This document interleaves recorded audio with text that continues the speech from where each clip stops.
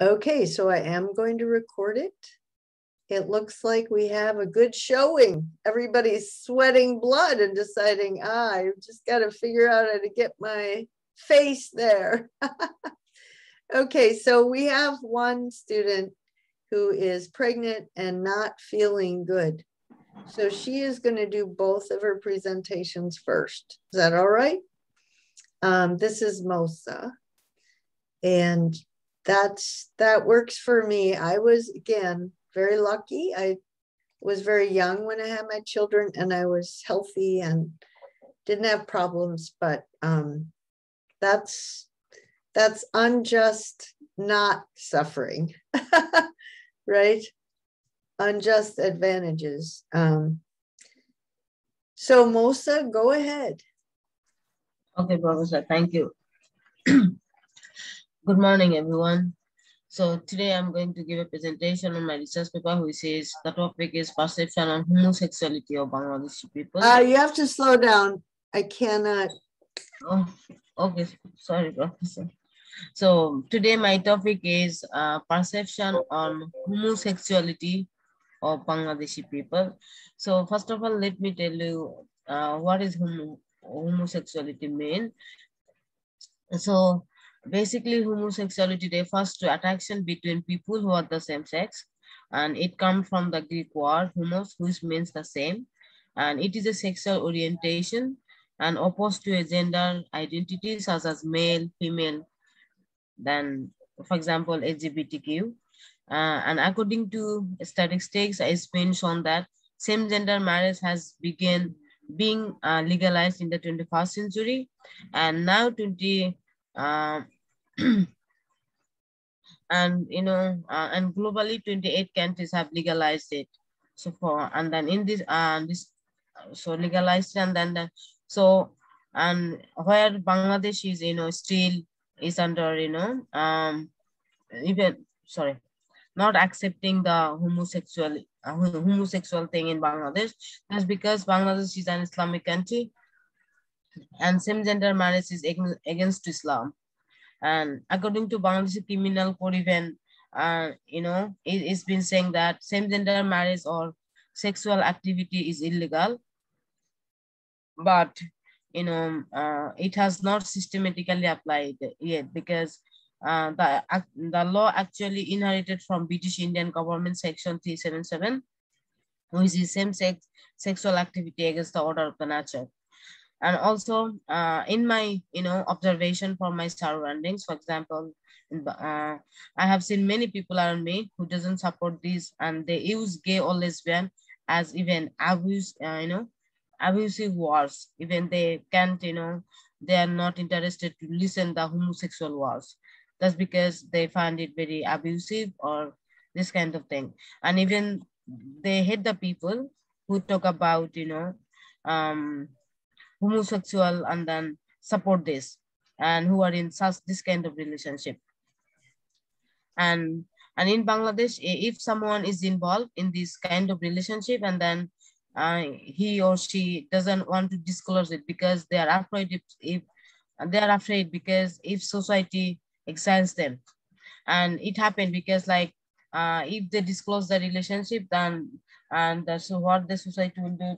They have you know they will keep them away from the society and then they have you know um, so that's why they are afraid of that. And then even according to research it's been shown that you know a good number of people in the for example like if i give my oh sorry my if I give from my personal experience, for example, from my Asian University for Women, I could find that, you know, uh, they uh, everyone think that everyone has equal rights and freedom and we should accept them. So according to my institution students so for, for example one of my students from uh, one of my sorry uh, uh, sorry professor. So one of my friends from you know india and other countries as well they, they, they believe that so rights should be equal and then it's about feelings so they, they can marry the who, whom they want. But it's not for everyone. And then in bangladesh it is expected that you and you know uh, as uh, day by day the situation being changed all around the world. And also it's expected that you know in bangladesh the uh, you know same gender marriage the view of same same gender marriage will be uh, different um, from the past. Um, like from the previous generation as the education is increasing. But you know religion affiliation negatively impact on public health opinions but about this concept particularly only in bangladesh. Whereas if, if you could say, you know, as I already mentioned in the first, you know, uh, um, you know, uh, 28 countries have legalized it, but even Bangladesh is not, you know, under even, you know, negotiation on that, okay, this is the human rights and we can do something on that. But, and even, uh, for example, even we look at in India, that's, uh, the section 377, it has been changed and then it's been saying that um, uh, people who, for example, like same gender marriage could have taken place if they want. And also, Professor, like in Bangladesh culture, even uh, the culture play vital role, you know, and public attitudes about homosexual. Um, because Bangladesh is an Islamic country that mentioned and most of the people are Muslim. And then if we see the history of Bangladesh, then you will uh, find Bangladesh is a mixed nation. In present era, society doesn't accept homosexual relationship. And according to a research by Adam Schick uh, in 2009, and he found that cultural contracts affect most people attitude towards same-gender marriage. People behavior changes about same about same-sex marriage is different countries, but some countries, but still Bangladesh people don't even listen to talk about this that's because the country itself and its culture. And research also found that religions play vital role and then uh, explains people's behavior depending on a nation's culture, cultural context in their research. They classified Bangladesh as a higher survivor and lower self-expression country. They also added from the research that personal religion beliefs have highly impacted on public behavior towards, towards same-gender marriage or homosexual relationship. And also, Professor, there are a lot of, you know, um, the research taken place, for example, you know, according to uh, Dhaka Tribune, which is a, you know, uh, non newspaper in Bangladesh, and the editor of this newspaper, um, he was talking about LGBT issues in Bangladesh and and what found what is hey, you need that, to wrap it up, Mosa. Yes, Professor, give me one minute. So what is happened that as the, the first time the editor has to, talking about the LGBT rights and then uh, told that it has to be, you know, uh, implemented in Bangladesh and the next day he was found, you know, dead by the people, you know, you know, for example, the Islamic scholar, a lot of people saying that these are these are the people are responsible. So even you know, Professor the Bangladeshi uh, uh, government and uh, the section, the you know, the law says that man cannot be raped. Even a, a woman can be raped, but man be, can be raped. So as a result, the homosexual people are you know um, being raped and then humanitarian and then harassed. A lot of things happen in Bangladesh. Thank you, Professor. Okay. I, I'm so surprised how many people arrived in class. Like we haven't had this many probably ever, so it makes me a little suspicious. Um, but that means there isn't uh, a lot of time for questions or comments. So I'm just going to have to ask you to move on to your other part of your your uh, outline for your final paper. Please excuse me, sorry. So now I'm going to give my outline presentation, which is I have selecting a topic from my readings, the Aristotle versus and biases. And from that, I have taken this a self-control, generosity, and uh, sorry,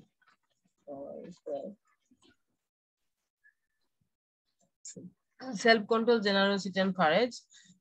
Uh, that because like, you know, according to Aristotle, uh, for example, the first virtue in children have to be learned in temperance and self-control in relation to the pleasure human beings share with the other animals, especially the pleasure of the taste and I know task, the pleasure that comes from uh, eating and sex. So this verse of taking pleasure in moderation of the you know acquisition of material things. So the this verse is cultivated in the you know uh, mostly in household because a children in being raised in uh, uh, in household from their you know childhood and the purpose of the household is to in uh, inhibit children in the virtues and to meet the basic needs for survival. At the same time professor for example uh, like um another one is like too many children grow up with a uh, with either too much or too little and this grow up in households with exist in material goods and with parents who accept their children to have as much more than they do motivated to acquire more than they need so, and then this leading to, you know, animosity between the recent post-social instability. And for example, like children who grow up with, you know, uh, too little are either, you know, fixed or survivor also, uh, or else less, uh, sorry, lose motivation to even try to move into the middle class. And then um, even you see the, for example, people who are uh, grow up with little and they can do in order to get their, you know, um, get get their pleasure and then what they can do is they can even committed you know crime. And also the people uh, uh children who are growing up with too too much they're not they're less motivated to you know um uh, to uh, like uh, acquire less in the future. So and the generosity thing is that it, oh sorry the next verse is like the courage the ability to accept appropriately in situation involving fear. Also you know is developed early in childhood because children and vulnerable um, uh, this courage is really important because uh, in childhood uh, children uh, child um, children are vulnerable and get into fearful situation often in their childhood. And then they have to learn to avoid unnecessary danger but also face dangers that they can avoid. So they have to be able to take risks when it is best and the the noble thing is to do. The virtues also has a profound effect on the quality of social and political life also. For example if um, citizens in uh, any country are afraid of physician pain they may doctors to you know invent medicine for all sorts of elements that they can caused by bad habits. And also, and the you know final one is Professor generosity, which means that you know in order to have people's oil oil spring giving away money or some other kind of you know materials that is really important. So I'm really you know agree with this uh, virtue with uh, mm, Aristotle. That's because uh, in the current society, so if we show that instability and then recent poor the gap between is, is you know really high and then in order to get self pleasure are making um, self pleasure. A lot of you know gender, a lot of you know inequality have been raised in the society. So in that case, the university could play a you know big role to in, in order to uh, you know re re reduce the gap between uh, you know mm, rich and poor and also the well-being of One the minute. society. Thank Have you. you done? Okay. Yeah. All right. So I think, yeah, I'm, I, like, we haven't had this many students for a long time. And so I'm only, people are going to have to have 10 minutes each for both presentations. And um, I, that's just the way it's going to be, I guess. Um, so most, I think if students could just say things like, um, I, my paper was about child raising and self-control, generosity, and courage. And I do think self-control is important. Example, kids can't be impulsive, right? Uh, just something where try to avoid reading your papers too much, getting too much in the particulars. Um, but anyway, so that's fine, Mosa. I just have to move on to the next person. Um, if I thought my attendance would be like this, I would have had, you know, the research papers on Sunday and the final papers today. But life goes on. Um, so Mosa, um, you can stay or you can go because um, you're probably pretty tired. Um, okay, so I guess I'll ask Pooja. She asked to present next, but uh, I, you know, in general, I, I can't just have the students in the chat asking me that. I'm gonna have to just, you know, choose things, but okay, Pooja, go ahead.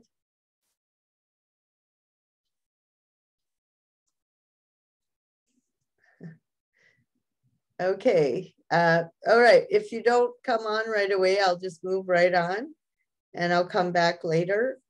Um, so let's start with uh, now. Go ahead now. Okay. Good morning, everyone. I am Nagwani Setu from Myanmar. I'm UT2, Rasa UT3. My topic, my research paper is the effect of education in Myanmar. So for the first step, I would like to go to the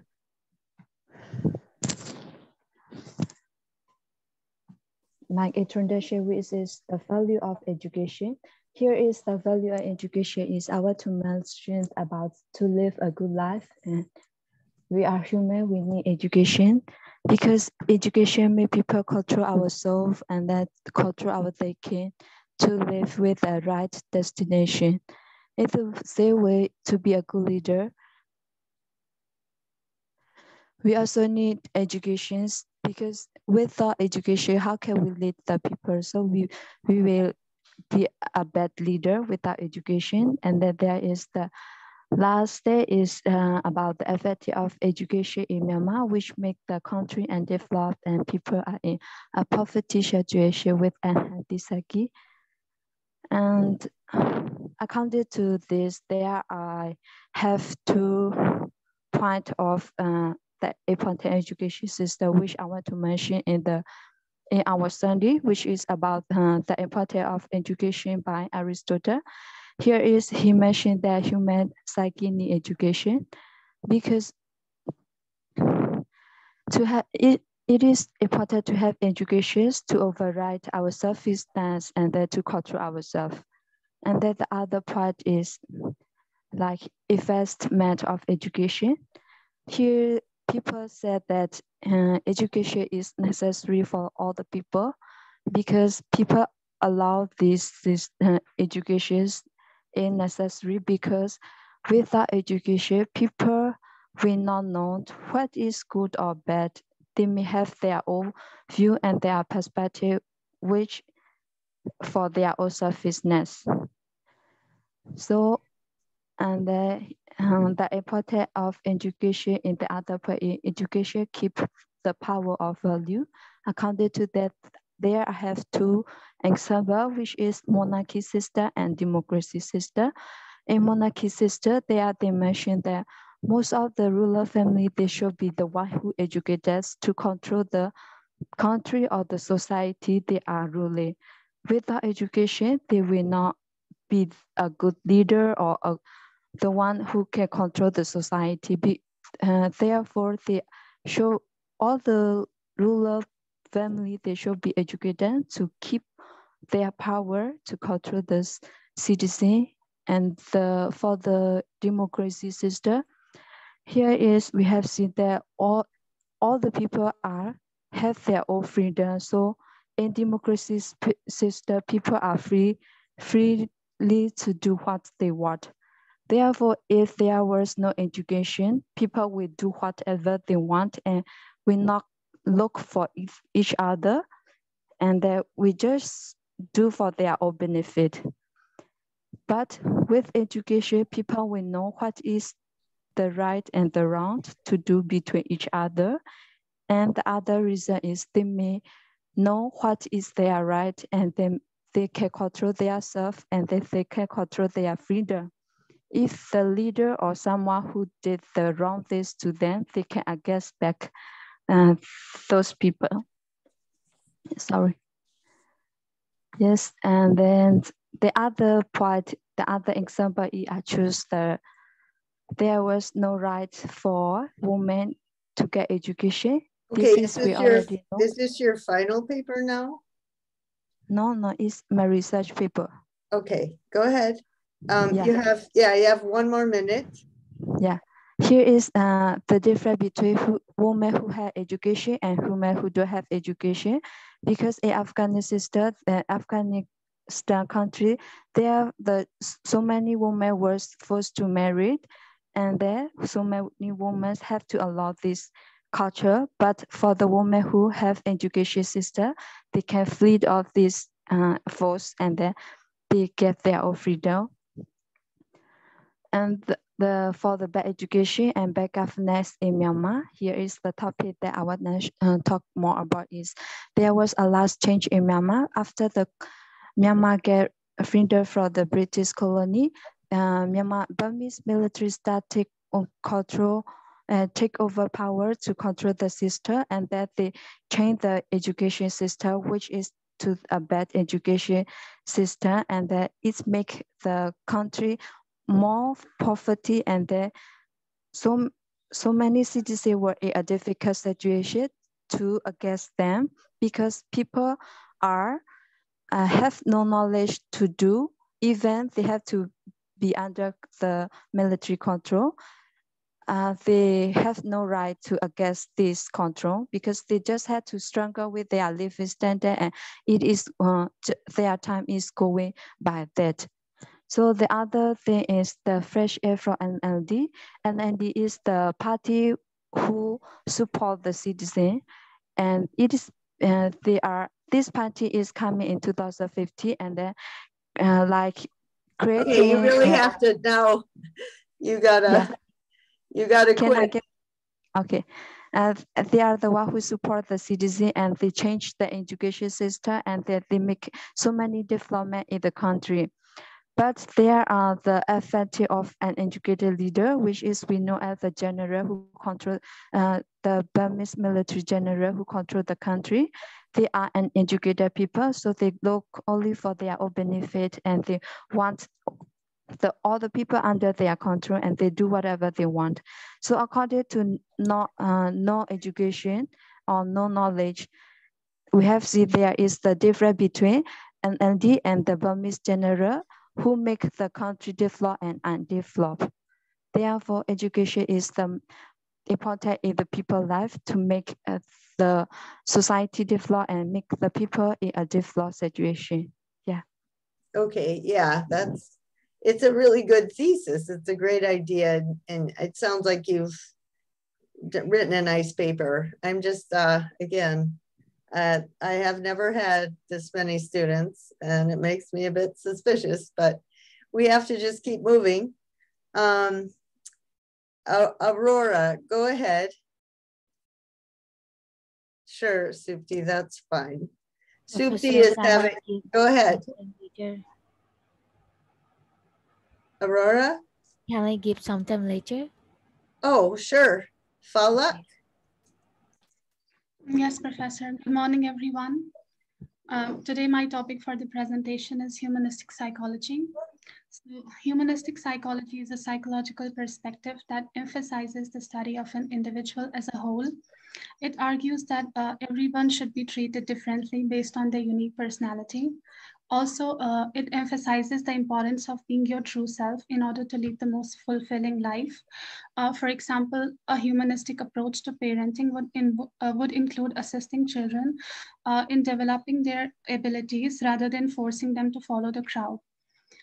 Uh, also, humanist psychologists study human behavior uh, not just from the perspective of the spectator, but also from the perspective of the individual conducting the action. More, moreover, unlike other uh, therapists, they believe that humans are not the product of the environment. Rather, they think that the person's behavior is governed by the uh, view of the world around them. So uh, this form of therapy encourages individuals to build a better life and a healthier sense of self. So uh, in the first part of my research paper, I'll discuss uh, some basic assumptions of humanistic therapy, and then I'll discuss how this therapy could be improved according to me. So Humanistic psychology is based on the fundamental uh, assumption that humans are, sorry, humans are good and they have a free will. This indicates that an individual can make decisions that affect them and others, so those decisions carry with them a sense of responsibility. As a result, uh, uh, this method stresses people's ability to make reasonable choices, also, this theory suggests that morality, ethical values, and good intentions are the driving forces for behavior, while uh, adverse social or psychological experiences can be attributed to deviations from these behaviors. Uh, also, it says that uh, humans have an innate drive for self-actualization. Uh, it helps a person to develop a healthier and stronger self sense of self Uh, this therapy involves understanding your worldview and developing a sense of self-acceptance, which is accomplished by uh, developing unconditional positive regard for yourself. So in this therapy, there are two practice techniques. One of the practice techniques, uh, one of the practice technique is called client-centered therapy, which was uh, developed by Carl Rogers. Uh, so this therapy involves helping clients to explore their thoughts and feelings and to work out solutions to their problems. Uh, it focuses on the belief that a client is the expert on their thoughts, feelings, experiences, and issues, not the therapist. Also, uh, rather than providing a detailed explanation of the client's problems or blaming the client current ideas and actions on previous events, the therapist listens to the clients and creates an atmosphere in which the clients make their own judgment. So it also implies that the therapist refrains from passing judgment on the client for whatever reason. Uh, so the absence of judgment in this, uh, in this profession is called unconditional positive regard for the client. Moreover, uh, this approach helps a client to become aware of aspects of themselves that they were previously oblivious to. So when the therapist reacts to those sentiments, uh, it pulls those aspects into focus so the client is free to make decisions independently uh, without making the therapist the center of their thoughts another type of therapy is Gestalt therapy. Uh, it recognizes that for, forcing a person to change results in further distress. So it helps a person to become self-aware and accept and trust their feelings, which helps to reduce stress. Uh, so according to humanistic therapy, forcing a person, person to change results in uh, stress. So this therapy doesn't help people to change their perspective. But uh, if a person stick, sticks to one perspective and doesn't want to change, he'll consider himself right even when he's not. So when the first client first came to the therapy, he had a perspective that he was incorrect because the uh, person was too self-deprecating. Uh, he underestimated himself. So according to the definition of this type of therapy, a successful therapist will lead a client to positive self-regard. However, the definition does not say a true self-assessment of the client's abilities and interests so that he can choose an appropriate professional path for uh, himself that will lead to a flourishing life. So uh, also the definition should include the client will be able to recognize healthy relationships, those where those involved encourage and inspire each other to flourish.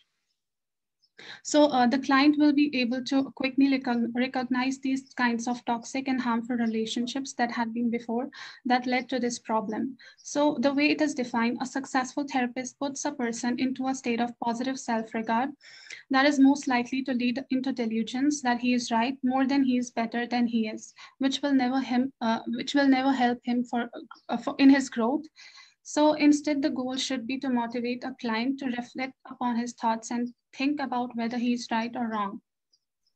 So instead of deluding a person to believe that he is right, a therapist must help him to recognize the cause of his suffering. Uh, because if a person doesn't recognize the cause of his suffering, he'll never have a healthy psyche. Moreover, escaping from reality will not help in self-growth because uh, we ignore the cause of our suffering. It is the uh, same as relying on prayers where we can do something for ourselves. Therefore, uh, this uh, therapy is a tactic that doesn't help us. So this the therapy should uh, help people to change their perspective and not to be deluded by this positive thinking because without this self-examination, those who have been wounded are likely to wound others in the same or similar ways because um, this is all they know. Instead of being the one who was abused, they become the abuser. That's it. Thank you. Okay, so um, uh, again, I would love to have conversations about this, but um, you can just, you can go contact people if you want to pursue it. Um, okay, Ashlyn. But Professor, I didn't present my final paper yet. Yeah, actually, we're going to try the one round and see how this goes. Because, okay. um, well, how about you could give a, a couple minutes about your final paper? Yeah, yeah, sure. Thank you, Professor. Okay, so Ashlyn, go ahead. Um, hello, Professor. Good morning, everyone. So uh, when I actually saw the uh, stream of our Google Classroom, which uh, just gave a suggestion on us to write about the therapy. Like one of the suggestions that you have given is about the therapy for our research paper. What I actually thought is the root here um, is missing. I, I mean, myself, since I am using this class personally to learn a lot of things into my life, I thought something is missing for me to do a research in. That is why I uh, came up with my thesis or my research paper on the stigma that is existing about existing about the mental health and why people are being dragged back from consulting the therapy and um, consulting the therapists and taking therapy. So uh, that actually dragged me, uh, uh, that actually drove me, uh, drove my attention to understand what kind of stigma, in particularly in my country and in my cultural context, is existing. Uh, that people uh, find it very difficult to treat their mental health issue. So um, I remember, I, I personally believe family and schools to be the building blocks of a child's personality and construction. But I don't, I don't necessarily or essentially remember teachers or my parents teaching me if you're having a mental breakdown or an emotional uh, breakdown you have to do this you have to do that. But rather if i'm i'm getting a hurt or i'm getting a wound or i'm having a fever they are told uh, they are telling me you have to take medicine you have to tell your teacher or your parents and without second thought they'll be taking me to the hospital. So that actually uh, in that point i thought um, so the emotional feelings or the things that i'm having inside my head is something that should not be considered for my lifetime. It's something i should i should bear with myself until my death. So that is that is where i had a i had no idea about what mental health is.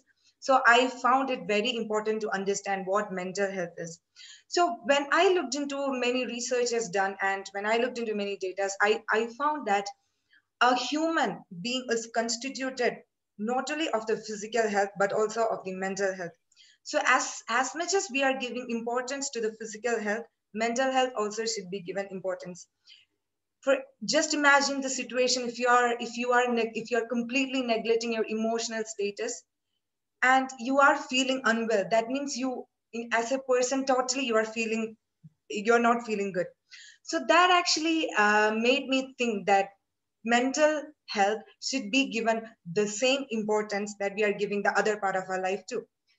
So, as most of the South Asian countries, mental health is given less importance in my cultural context.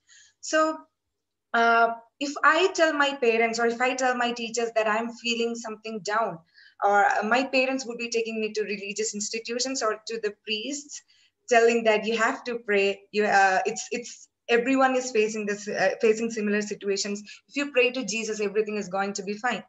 So that was one of the things if i feel sad or if i feel happy i won't be sharing anything to anyone. I'll be taken to the religious institution. I'll be praying. But when i understood that it is something that we need to share and it is something that we need we can share with a professional my view about mental health totally changed. That is why i think people uh, that is why the people doesn't know much about therapy as well. It's because their misconception and their stigma related to the mental health is still prevailing and they are telling therapy is nothing. So i guess that thing should be changed first the stigma and the misconception that people are having about mental health. That if you are getting a mental breakdown it's just your problem blaming yourself. So that concept must be changed.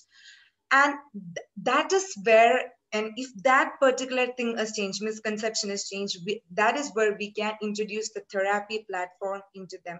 So i guess then it will it, will be easy for people to go into a therapist. Normally as we are going in, uh, going to a physician for a fever and everything once all the stigma and everything is uh, is gone from the platform will be like very open to tell others that yeah i'm consulting a therapist.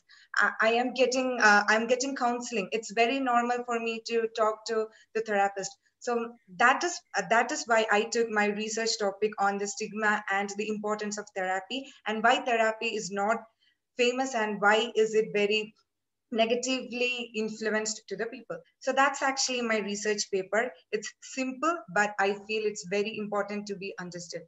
And coming to the final paper, which I will be writing is, as I have um, already mentioned in the previous class, how liberal arts education helped me in shaping the so-called healthy psyche idea I got from the class. So what I basically try to uh, include in my final research paper is, I'll just have a comparative, uh, comparative, yeah, comparison of my life before coming to AUW and the education I perceived from my country.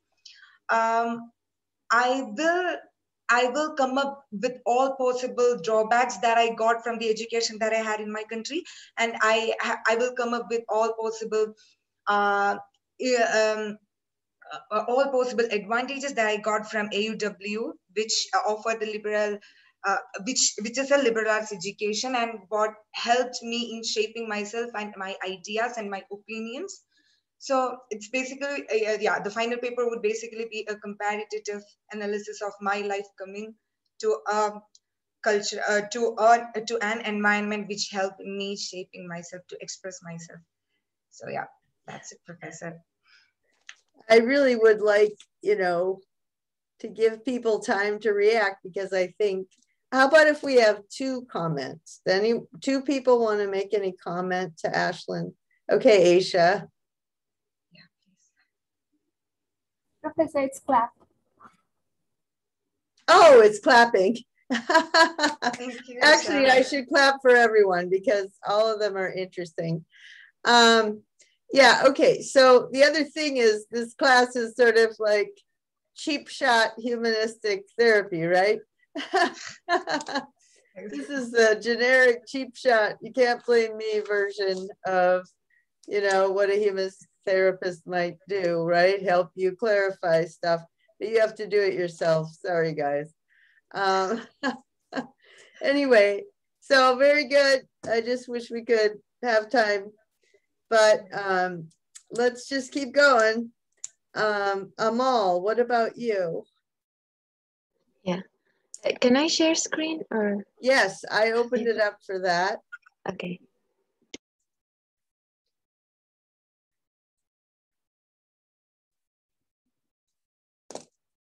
I think I did anyway. Yep.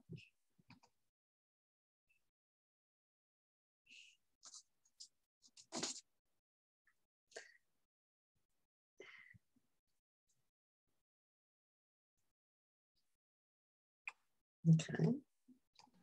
Okay. Uh, so hello everyone.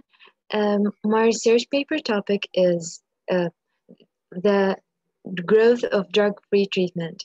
Um, so uh, the reason that I chose to write about this trend is that, um, like recently, I've been watching um, a, ser- a, serial where they discussed about, uh, you know, depression and how uh, people who are, uh, you know, uh, taking meds for that, um, like, and they compared it with like how after how they uh, went to therapy.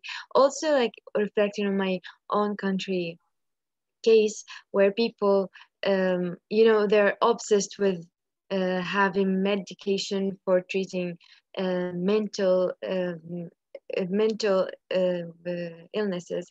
Um, so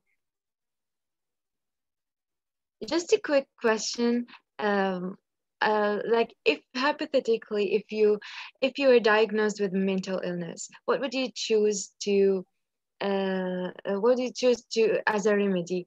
Uh, like the medication or going for therapy and why? So you can just simply unmute and tell me as i was uh, so much into this i'll go for a therapy uh, why uh, that that is why because therapy in, in can I tell? In the therapy field, that's my understanding. There are professionals who spent their lifelong, like their career in uh, shaping themselves to help others. So uh, I guess that that particular thing is missing among the common people, but there are actually professional peoples who are capable of helping us. So that thought will drive me to therapy or therapists. Yeah, interesting. Uh, uh, uh anyone else was saying something? Um, Classmate, so Go ahead, Yeah, Diane. I- okay. because symptoms have so many side effects. Okay.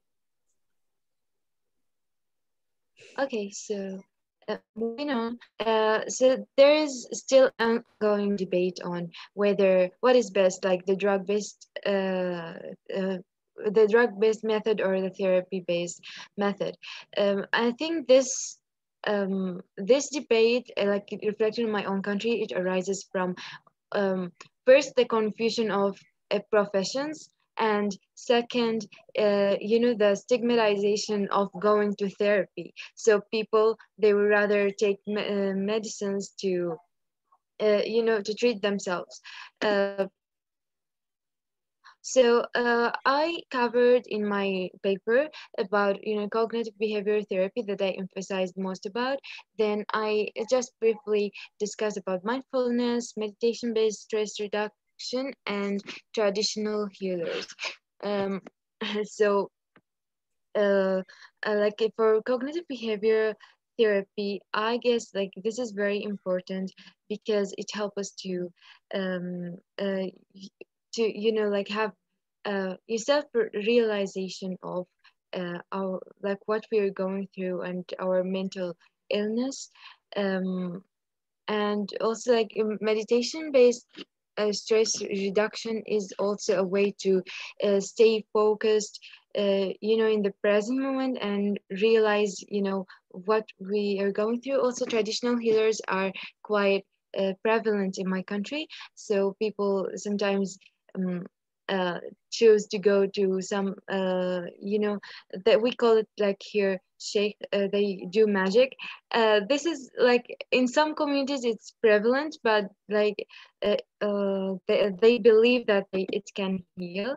Um, the advantage of you know the uh, drug free uh, treatment is that uh, like people they have uh, control of their feeling it will reduce the feeling of weakness uh, it reduces anxiety and it decreases uh, pain uh, level without having any side effects.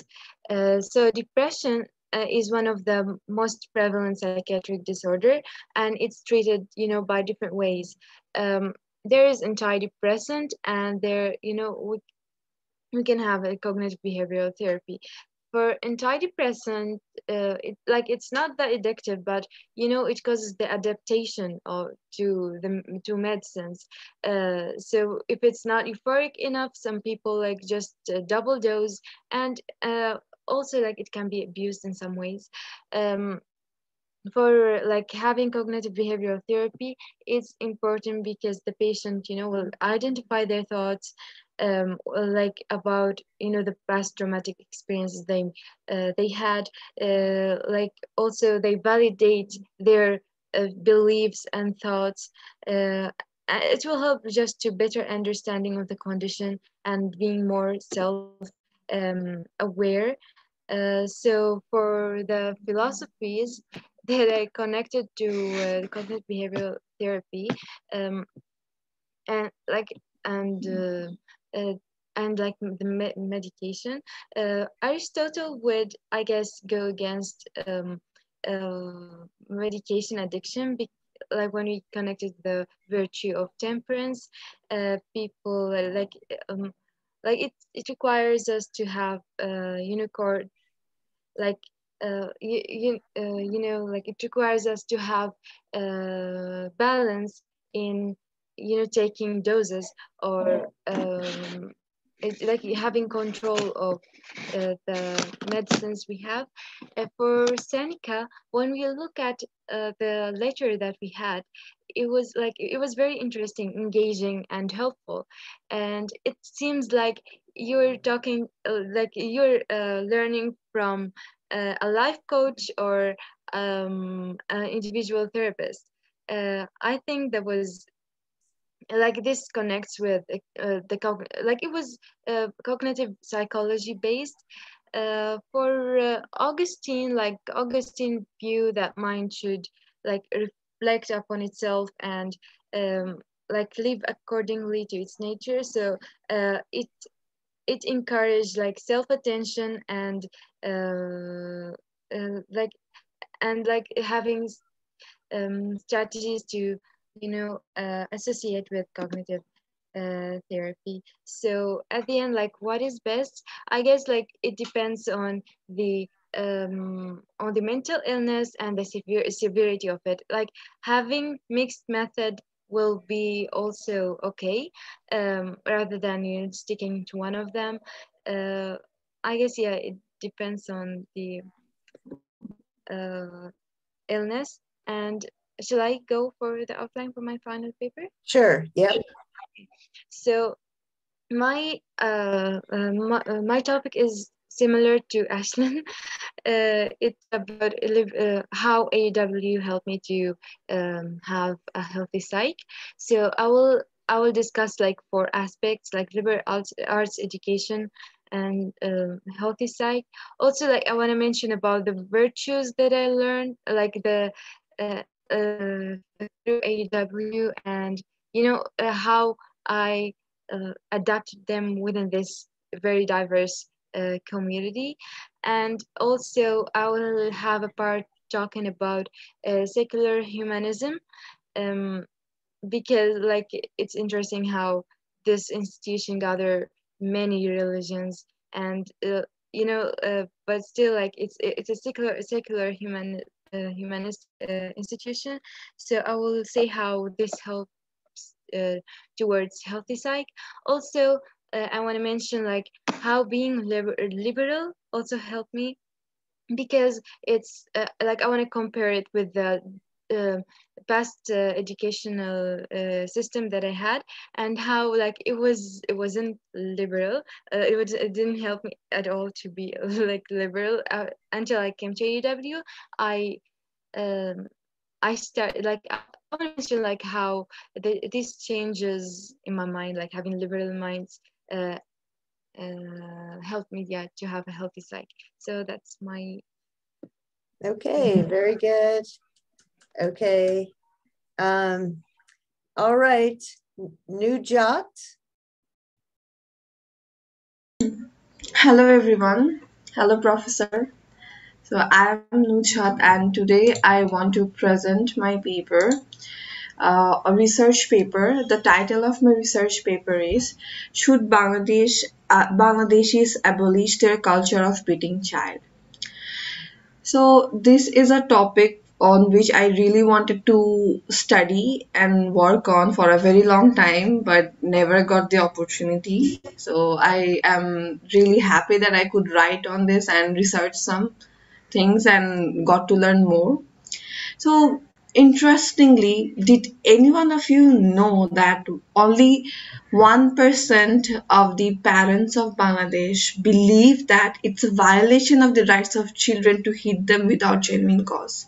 Like only 1% even though they think it's genuine it's gen it's okay if you beat them uh, if there is a cause so the um, the numbers the statistic is really dangerous and we know the situation is extremely intense when researchers show that a total of 67% of surveyed parents encourage ch teachers to beat their ch children in school as the parents believe it is the only way of teaching discipline to children.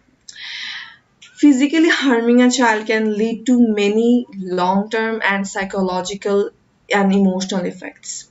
Therefore, my paper explored on how hitting children turned into a culture in Bangladesh and um, what are the psychological reasons that acts behind this for the parents to beat their children. And it also examined on the negative effects of the practice of child beating. Uh, here I question whether hitting is the only way to discipline a child or there are other effective and better ways which are proven to be good for making a child learn discipline and giving them a better life. So in my opinion, lack of education firstly, then critical thinking, lack of critical thinking, lack of social awareness and lack of ignorance are some of the main reasons behind parents considering this practice as an ideal way of parenting. The most hurtful fact is though bangladesh government made many recommendations from time to time in prohibiting any form of corporal punishment no effort was made to officially introduce any law abolishing all sorts of corporal punishment. That means if a child is bitten if a child is bitten in inhuman way by any of the parent no legal uh, administration will be there. There will be no help for the child uh, because it will be considered that the child uh, the parents are the legal guardian and they can do whatever they want to.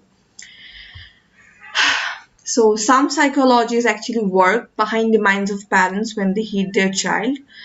Though in most cases um, it's seen that the parents hit their child mindlessly um, there are times when parents of bangladesh actually hit their child considering it to be the best for them um, in the cultural context of Bangladesh, people associate fear with respect. And so parents try to be strict with their children so they fear them. For them, fearing someone means respecting someone. When children fear their parents, it's assumed that good values have been instilled in their child by their parents. And we often hear things like the child will not grow up to be a good human being if not get beaten up or there is no other better medicine than beating for a child to learn behavior. So these are really some hurtful comments with that. I as a bangladeshi hear um, now and then from my relatives from my neighbors from my family members so they even consider the punishment to be more intense and to be more painful so that um, it teaches them and it, it warns them to not commit the same mistake again. But the thing is, are these act are these even beneficial or are these even effective in any way?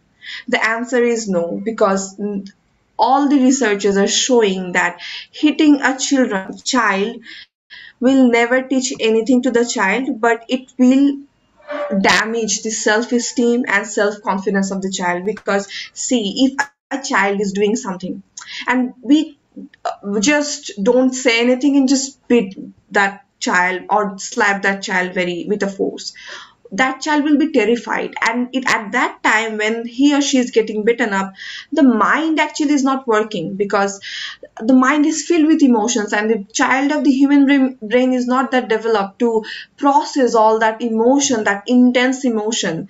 So at that time actually the child is not being able to store any new information. As a result um, nothing is being learned by the child just fear is being developed in the mind of the child. And because of that fear the child is not committing that same mistake again maybe. But we all will never have we all will not have our parents always by our side. Our we uh, when we'll get adult we will have to live our own life. We'll have to know what is right and what is wrong. And this culture of beating the child is restricting the child from understanding what is good and what is bad. And in that way after growing up that child that person adult person will have the whole freedom in front of that person without knowing how to deal with this freedom how to how, in, in which direction to go and how to live a life in a healthy way. Because always that person lived in an environment where it's filled with restrictions and there was this set of people who always you know beat her or beat him and and told that no you can't do this without any proper instructions. So it's really important that we talk about this that we engage into discussions regarding child beating in bangladesh and how damaging it is for the child because the, as I told you before, even if a child is getting bitten by their parent in an inhuman way, nobody will come to rescue. Even okay. maybe, yeah. So it's important for us. Yeah. Okay. Right. So your research showed that Bangladeshis think it's good, and all the research shows it's bad, right? Yeah. Okay. So you need education. I agree. okay, you want to do your final papers? Anything else you want to say about that? Um, oh, we thought we were going to say it after we are done with the research paper. So, well, Okay, I'm, I'm gonna lose track of who did and who didn't. So why don't you go for it, Nuchat? Okay, sure. So um, I'm um, thinking of writing my final paper on what a healthy psyche is and uh, or something that is uh, that will bring me a healthy psyche will not bring another person their healthy psyche. So my focus will be on how to find out your way of um, maintaining healthy psyche. Um, there are researchers which are telling that uh, people have um, people will there are people who do not be uh, uh, do, will not be able to live a good life if they remain in monogamous relationships. It's it's it, in my cultural context it's never considered or in even in western culture i guess it's considered uh, it's not considered to be a good thing. But there are actually people who um, came out as people who do not believe in monogamy. They think that their flourishment will get blocked if they live in monogamous relationship, and they believe in polyamorous relationships, and in that way they will flourish. And there are many couples um, who actually get married, but they remain in open relationship because they know their nature and they know how they will flourish. I will. So I am thinking of bringing some examples like this. Can this will be one of my examples, and there I will give many other examples like how people actually uh, some of uh, some people's life can be focused totally on career and some people's life can be focused totally on bringing up children. It doesn't matter what it is. It nothing is right nothing is wrong. Um as long as you are focusing on your morals and and and, and speaking of morality also what is moral and who to decide what is moral and what is immoral um, i personally believe in the idea that um, as long as you are not hurting someone and um, not causing harm to anyone it's fine. If it's only with you. So i will focus on that. Um, um, and then i will write my paper. So basically this is what is going on in my mind for now. Okay. Um, yeah, I'd say open marriages, if you have kids, it's a lot more tricky because I do think kids need a lot of stability. right? No, it's not. I'm not saying that those are connected. I'm just saying about examples. Suppose a, a, a person can have uh, can go to uh, a more flourishing life, getting children or uh, focusing on children, and uh, and also there can be people who can get a flourishing or more better life going to a career. No, no, That's- that's fine. It's just if you decide to have kids, I think Oh. you gotta have a stable relationship Mm, yeah. because you gotta provide for them. Uh, no, I know philosophers with open marriages, and I just think the guy always ends up on top. it's, a, it's a guy thing, I think. I'm kind of suspicious. But okay, Isabel, go ahead. Hi, Professor.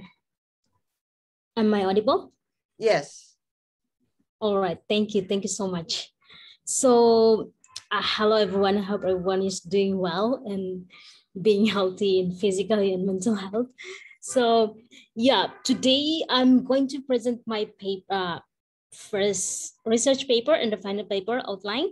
So, at first, I will talk about my research paper, which is uh, where I have written about uh, something related to psychology of drug addiction. So my topic is uh, the negative effect of drug abuse on physical and mental health. So um, as we all know that we and some of us we've already discussed about the drug abuse now. So uh, taking drug abuse is not a good way of uh, how to heal our mental health.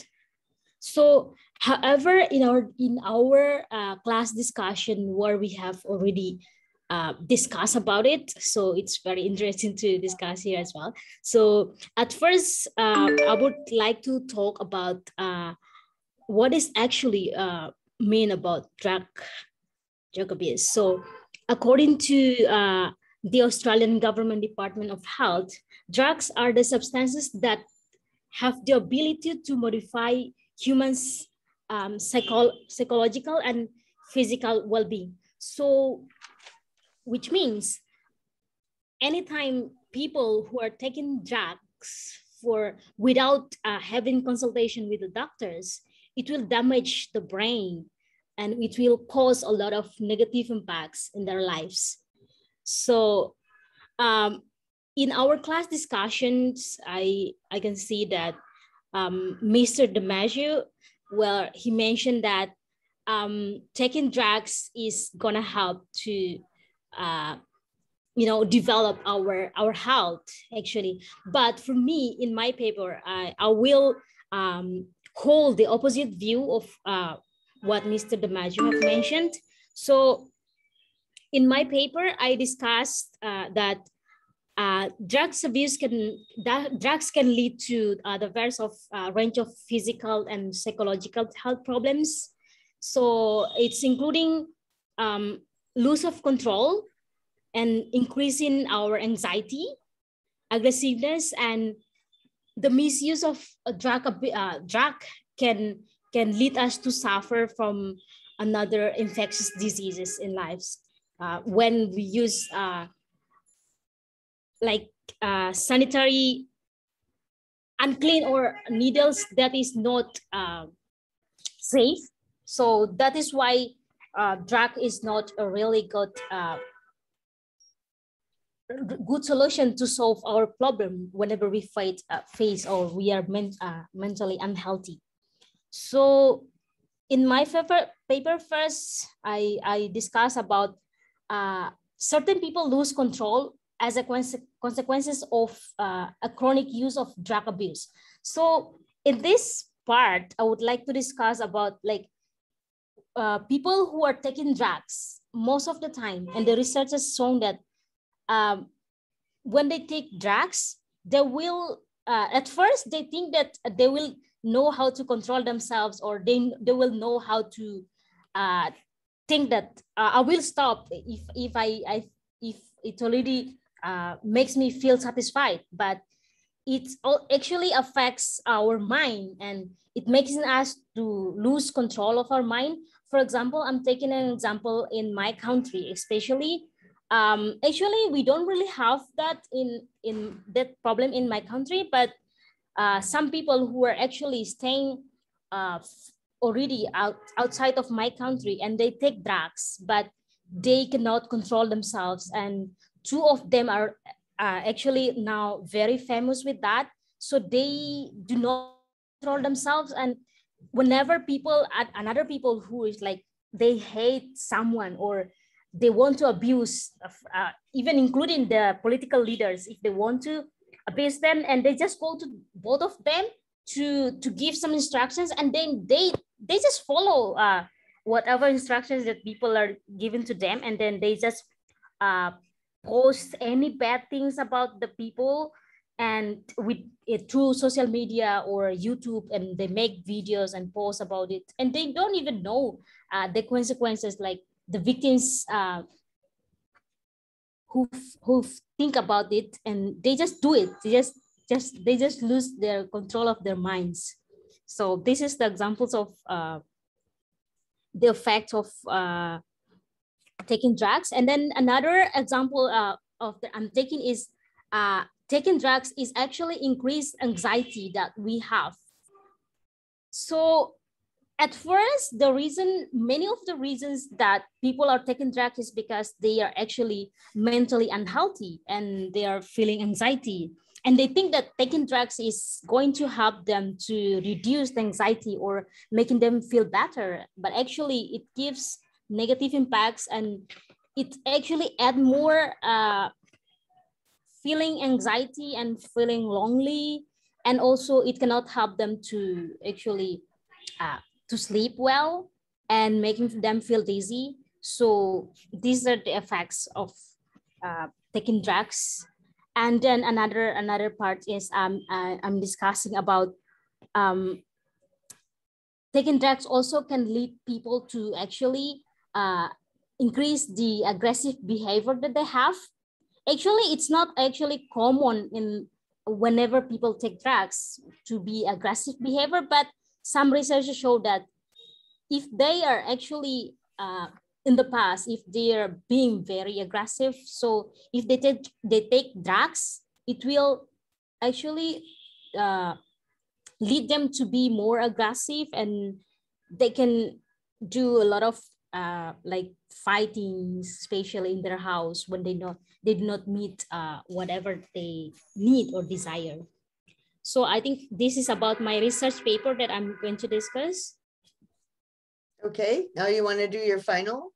Yes, sure, sure. Okay, I, I, one point about Damasio is that he definitely wouldn't say drugs will save people if they abuse the drugs. The thing is, he didn't do anything to prevent abuse. He didn't explain how we have to make sure to keep this under avoid abuse. Does that make sense, Isabel?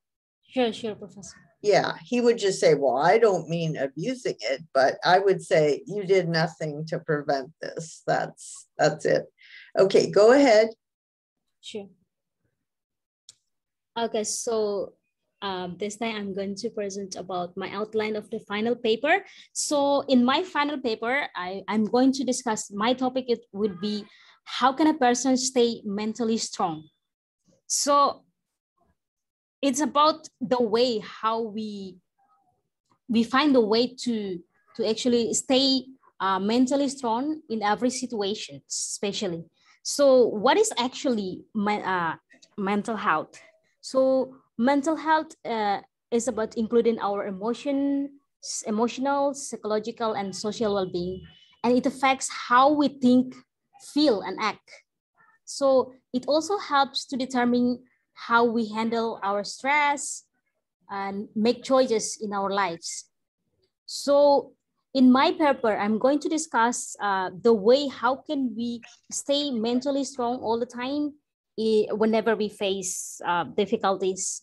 So there in, in uh, I will discuss about uh, exercise our mind. So whenever we want to like stay mentally strong, we can exercise our mind through uh, some people it depends on how we feel or happy to do something for example if i am happy to play guitar it will help me a lot for example if i feel not um, mentally healthy i can play guitar or listen to the music or dancing this will this will help me to actually uh, exercise my mind to feel better again or i can learn some new skills or maybe i can also uh, share the skills that I have to people and make them feel happy. When I make them feel happy, then I will also uh, feel happy or share whatever I, I have. So, and another, another part is uh, I'm going to discuss about uh, challenge ourselves. So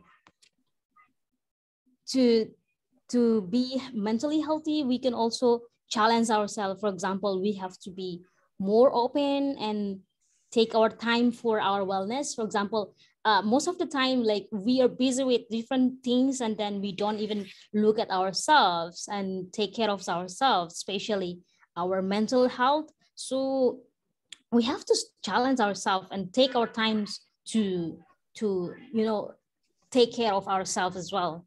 And then ac accomplish something or goals that we want in our lives. Also, uh, we have to also practice like uh, participate participate more in something like discussions for example in the class we can participate to to share or maybe we can join other people to have conversations this this will also help us to stay healthy. Okay. And yes professor? Go ahead one more minute. Oh okay okay okay. Okay so another important thing is to to stay mentally healthy is uh get rid of ourselves of what uh, of the word can't. Most of the time we say it like i can't do this i can't do that. So we have to get rid of it. Like we have to tell ourselves all the time that we can do it. We have to do it. We can do it. So stay like telling ourselves to to that we can do it it makes us feel more strong and happy. And also another important thing is be grateful. Like we have to be grateful with what we have. Most of the time, we focus on the negative things. For example, like uh, we don't have enough money. So we think about, oh my God, I don't have enough money. So how can I stay mentally healthy? But we have to also look at ourselves, what whatever we have already have. For example, um, we have um, some important parts that makes us happy. For example, we have bike or cars or laptop. This will this will actually help us uh, to, to stay mentally healthy and appreciate with whatever we have instead of complaining all the time for you know something that right. is uh, not actually happen. So yeah, Professor. Okay. I I do think that AUW students, in spite of all the obstacles, what they have is education, right? They have an opportunity um, for education. So mm-hmm. if they could overcome, I know they have a lot of obstacles to overcome, but they always have this opportunity, right? And when people have opportunity and they can move themselves up a social ladder, that I think is an incredible foundation for, uh, you know, teaching yourself how to stay healthy, right? Because yeah. you have this opportunity. And I always just thought other people helped me so much to get, I really owe it, right? I want to respond to their, you know, their support, their belief in me, their whatever. So mm-hmm. I think you, you know, it's one thing to tell somebody who's a beggar, but I think the AUW students can tell each other, right? What they have is an, a chance for education. So, okay, Asa, Asa's going to go next. Thank Thanks, Isabel. Welcome. Uh, Professor, can you hear me? Yeah, although it's a little bit soft. So talk loud. Okay. So now I'm going to talk about my research paper first. So um, for my research paper, I decided to relate between um, rational emotive behavior therapy and circumstantial depression. So after reading professor's response to Damasio's view, I became interested in uh, finding any kind of therapeutic approach for any disorders. So, so I chose um, rational emotive behavior therapy. So it is um, a type of cognitive uh, behavioral therapy. So REBT in short. Okay. So REBT is an approach um, like that's focused on helping people deal with irrational be beliefs and learn how to manage their emotions so thoughts and behaviors in a healthier and more uh, realistic way so in order to understand the impact of events and situations that people encounter throughout their life so it's essential to look at the beliefs people hold about um, these experiences and the emotions that arise um, as a result of those beliefs. So an important step in this process, I mean, in this therapeutic process is recognizing the underlying beliefs um, that lead to psychological distress. Um, let's say holding unyielding beliefs makes it impo uh, sorry, almost impossible to respond to activating situations in a psychologically healthy way and rigid expectations of ourselves and others only lead to disappointment and regret.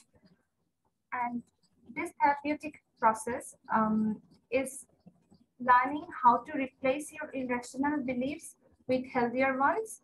This process can be daunting and upsetting, and it's normal to feel some discomfort or to worry about you have made a mistake. And in addition to identifying and yes, I mean, identifying irrational beliefs, therapists and um, like they also work together, therapists and patients work together to target the emotional responses that uh, accompany problematic thoughts.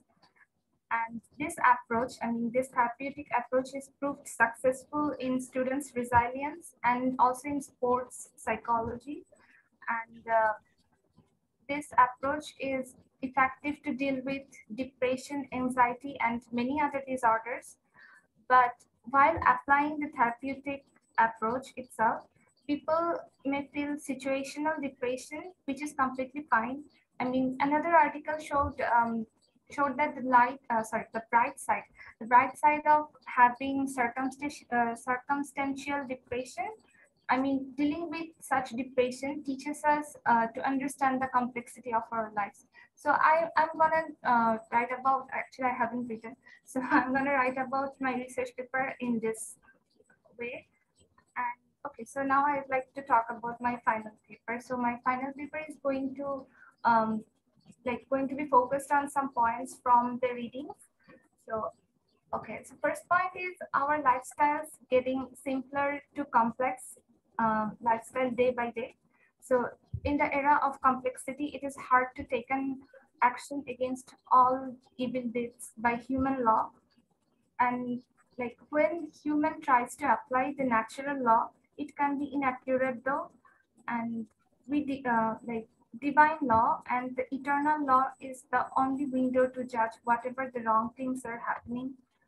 So this is my first point. And my second point is like um, Augustine's view was more focused on the eternal justice, which is very necessary to follow. But for example, in talking about someone who has been raped, uh, should be able to go to court and uh, get the rapist convicted without being judged uh, and punished herself. I collected it from the reading itself. And like, however, it doesn't happen reality.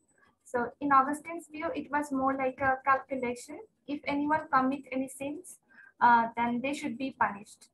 But since our societies are getting complicated over time, as I said in my previous point, so it is hard to uh, decide such judgments precisely and uh, my last point of the final paper is the being um, whose capacities of enjoyment are low has the greatest chance of having them fully satisfied.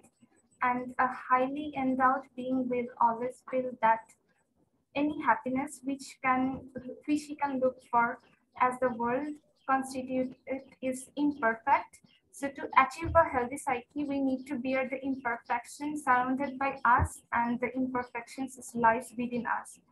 So that's it. Oh, good for you, Aisha.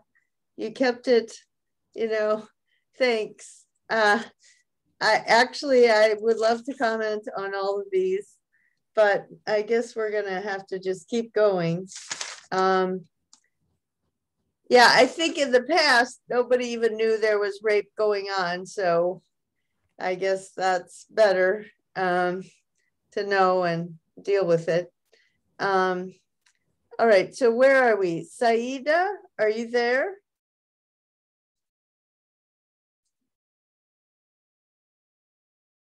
Uh, okay. Um, uh, all right. So, well, why don't we wait, Saida? She doesn't want to get recorded. So I'll just wait on you, Saida, okay? Uh, Fardeen? Um, can you hear me, Professor? Yep. Um, just gonna share my screen.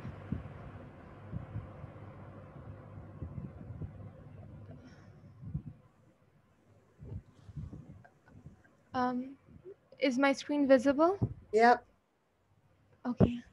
Um, hello, everyone. Uh, so my paper is basically me criticizing positive psychology because um, because of the way it disregards or delegitimizes sexism. Uh, I mean, it really fails to factor in the struggles of or the reality around any marginalized groups in society but I chose to focus on sexism in particular because I felt that I would not be able to adequately discuss several groups within the scope of this paper.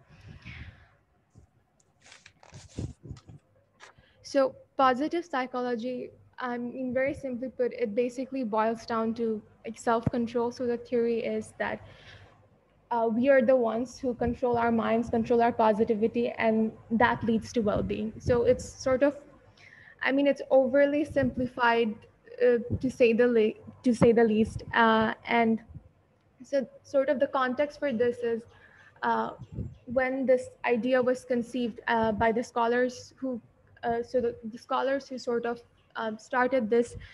Uh, so they talk about it being like so th- their view was that at the time psychology only focused on uh, the people who were struggling, the people who were miserable, and they felt that that was only half the picture, and there needed to be more focus on increasing the well-being of people as well, and that would be a complete picture. Now, separately, that doesn't necessarily seem bad, but the issue is that the people, the scholars who um, who sort of define this concept, they have, I mean, their understanding of how society works is so lacking that I mean, it's it's kind of astounding. Uh, how and it's it, yeah and the way when they talk about positive psychology the words they use and the concepts they use like you know they talk about uh, things such as aristotle's um, uh, definition of a well-lived life and they talk about the concept of uh, eudaimonia so all these things like they really draw you in and these concepts or words they use i mean it's really it, it's quite convincing honestly. And then on top of that they to justify the uh, positive psychology. What they use is so they sort of use uh, scientism. And it's they the value they play, place on natural sciences is so high that like it kind of you know ignores a social con- context completely. And um, so the all their positive psychology theories are backed up by animal research biology uh, quantitative quantitative research methods.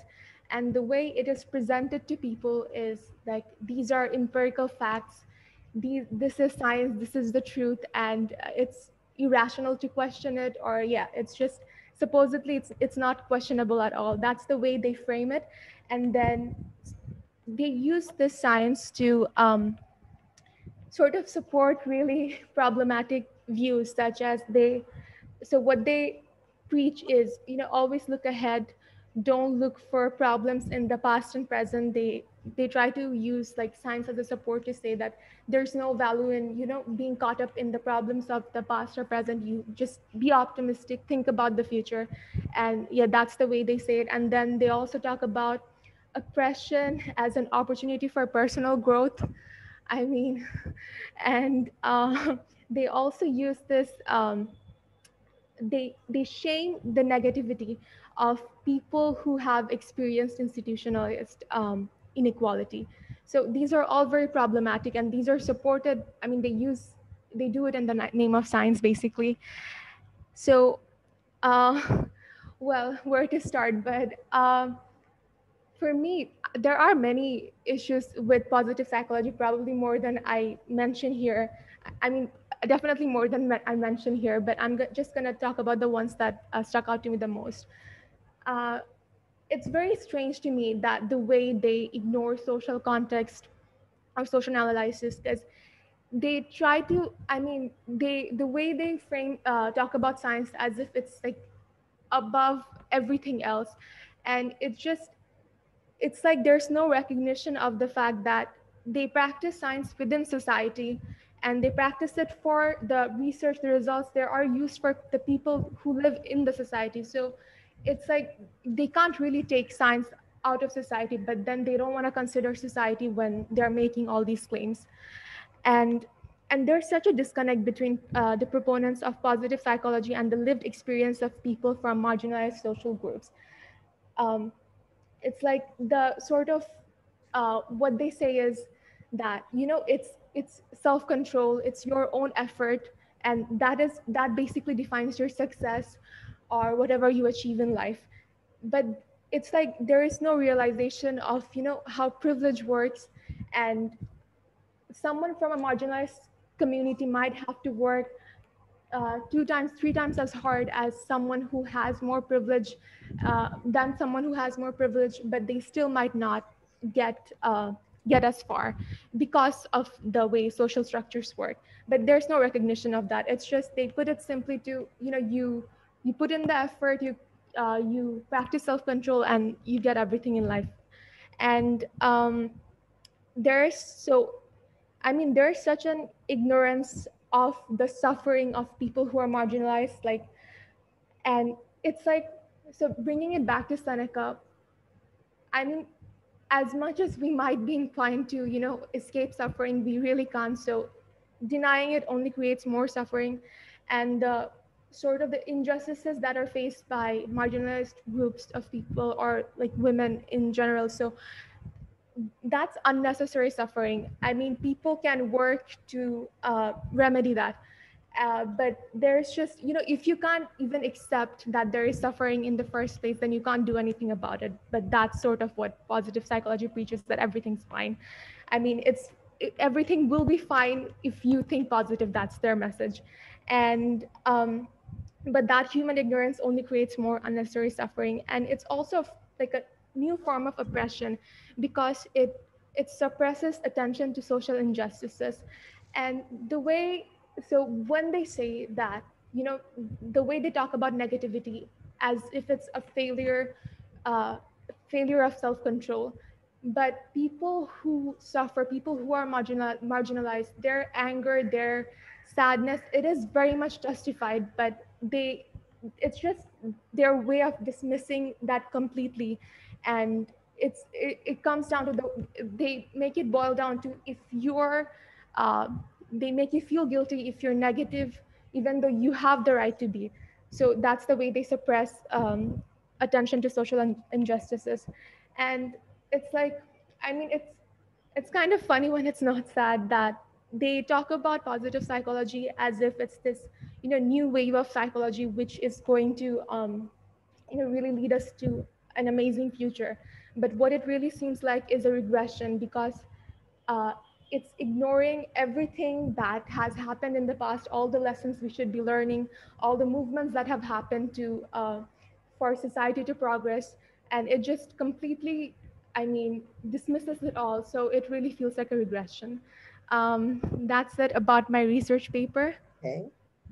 Uh, okay, so for my final paper, my final paper is about spiritual humanism and its potential to be the foundation for a healthy psyche. Um, so when I wrote the first paper for uh, about a healthy psyche, it was very much it was more personalized and very specific to my healthy psyche. I wrote a letter to myself.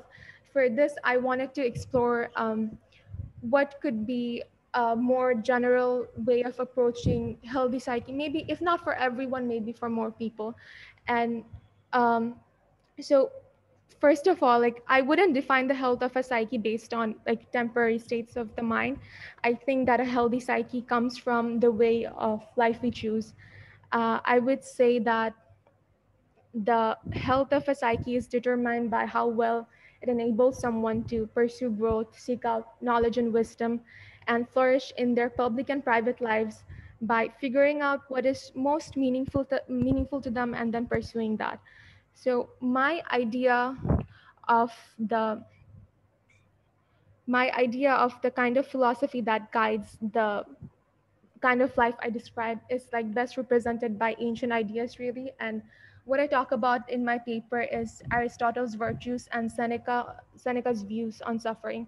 So I won't get uh, too much into detail because there isn't time. And especially for Aristotle's virtues, I feel like we've discussed it a lot in class. But the way I, uh, well, one of the ways I approached it was I appreciate the way I understand that not, it's not, uh, all the virtues are not quite applicable in the same way to different societies because of cultural differences. But I think there's a real value in, you know, finding the mean between two extremes and then leaving it up to people to uh, think about those decisions and take responsibility for finding um, the best way to live their life. And the, the way it encourages um, self-reflection and critical thinking, I think there's a lot of value in that, even if it doesn't give any uh, direct, I mean, it is sort of ambiguous, so it doesn't directly say you live your life like this, but I think that's a very helpful tool. And I think what Aristotle's virtues uh, something that it does is it it can help us envision a better future, a better version of ourselves by uh, sort of thinking about these virtues and how it makes sense to us and then um, sort of trying to live up to it. And then I talk about Seneca's uh, views on suffering because it's, I mean, it's this part is really important to me. I mean, the Aristotle's virtues is as well, but I think, at least in my life, I've experienced people. We all suffer. That's just inescapable. But the way people process that suffering, it, I mean, it can. If people don't process it uh, the way they have to, then it really becomes detrimental to them and the people around them. So how Seneca talks about necessary and necessary suffering and it's it's really meaningful to me because um, it is very important. A very important personal uh, part of a healthy psyche is uh, acknowledging when we are suffering, and then you know processing it, and then especially for I mean for necessary suffering and also for unnecessary suffering, there are things that we can do to reduce that, if not eliminate it, and the first part of that is being able to acknowledge and process it. So to me, that's very important. And I, I talk about that in my paper. And I, so these ideas combined are what I refer to as spiritual humanism. To me, they sort of complement each other and they're not too overly simplistic. They embrace the complexities of life.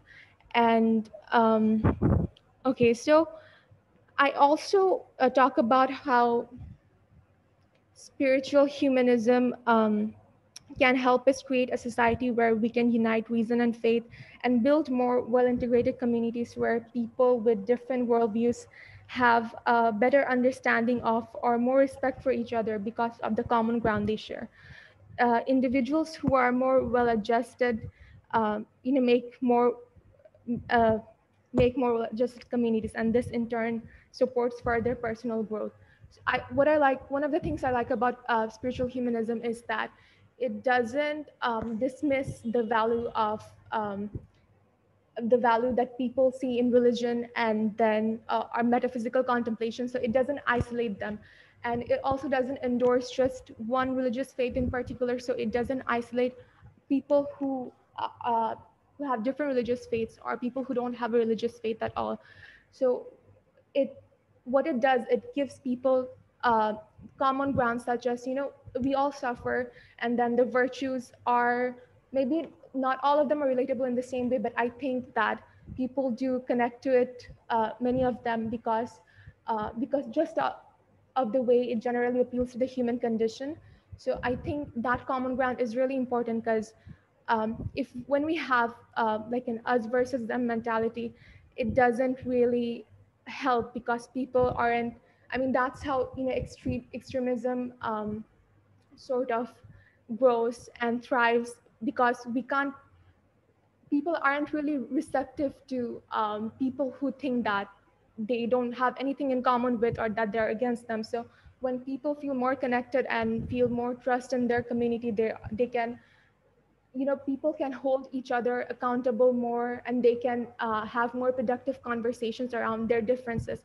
This is not meant to um, not meant to ignore the uh, differences that people have in worldviews are not meant to sort of confine everyone to the same worldview but rather try to work productively around our differences rather than um, yeah rather than have that cause uh, a lot a lot of issues that you know, uh, that's the way it usually goes when there's a lot of division.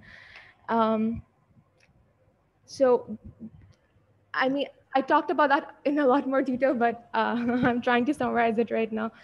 And um, okay, so that's basically the gist of it. Um, I just I talked about um, a very basic level of um, a basic level of you know creating a healthy psyche by uh, incorporating Seneca's views on suffering and Aristotle's virtue into our uh, like as individuals and then using that to create healthier communities.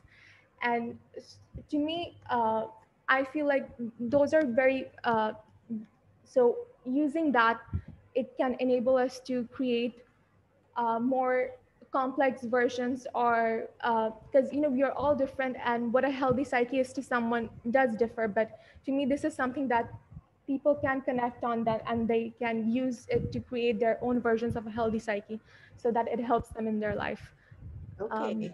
yeah. that's it professor okay very good uh, again i'm so sorry we can't stop and talk about it Um, but yeah, I'm I'm listening. I hope all of you are impressed with what each other does. Uh, Ritika, are you there? Yes, Professor. Okay, go ahead. Okay, Professor. So, uh, hello everyone. I'm here to talk about my research paper and I will give you a brief idea about my research paper.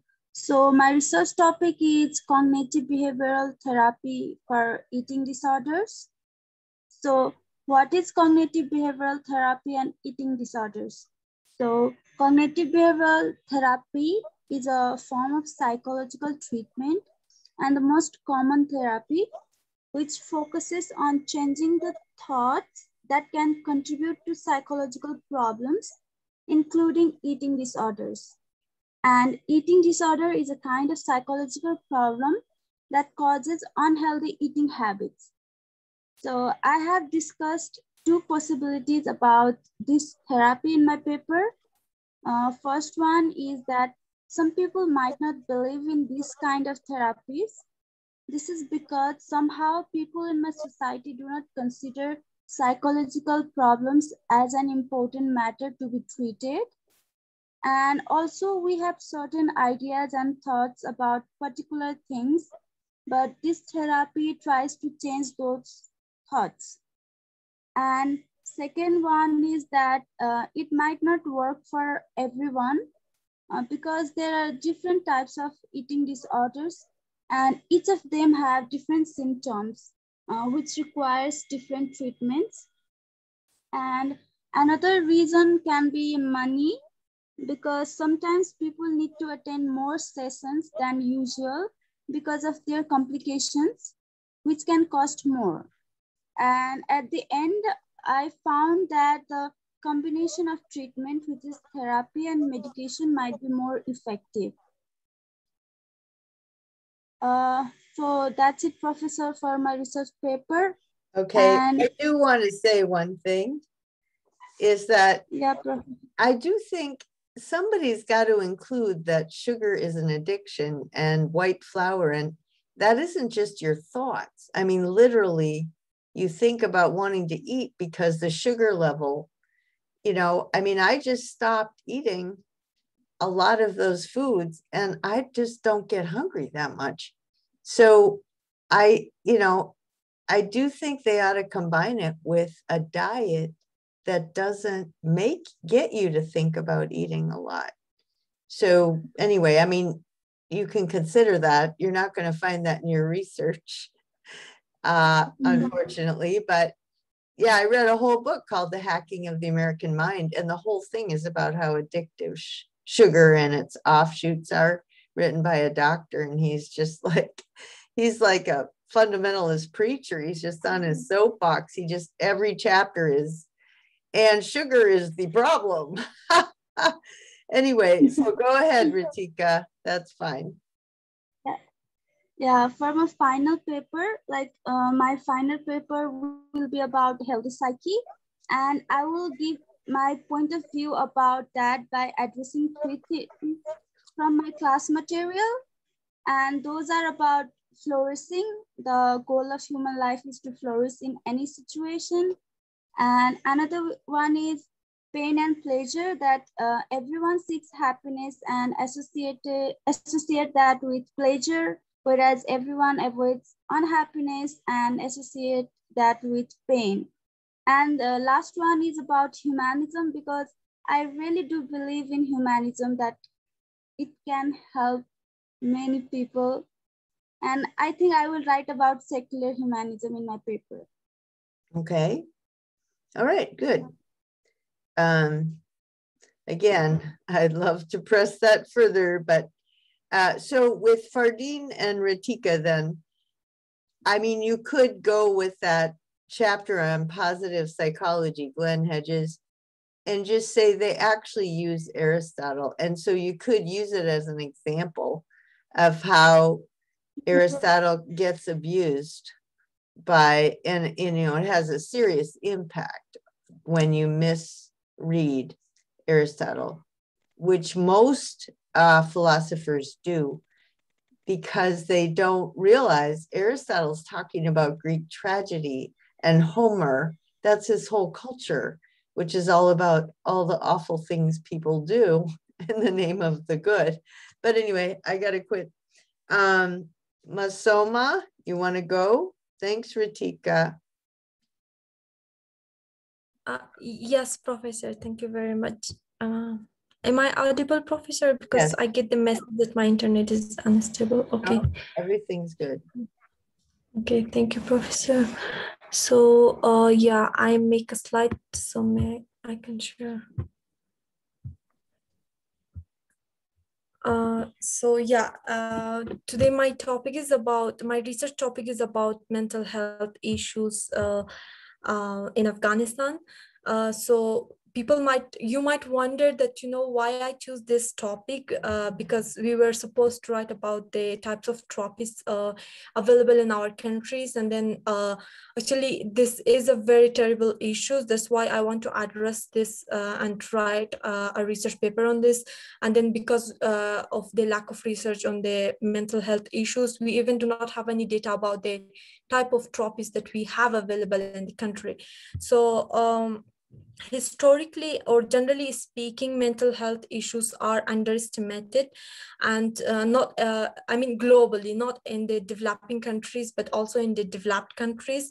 And uh, so uh, i think uh, ashlyn was also uh, addressing to this point that you know people give more value to the health rather than than mental health issues because for instance like they give more you know importance to the physical well-being to like a disease like cancer or diabetes but then they do not think about mental health issues that we have.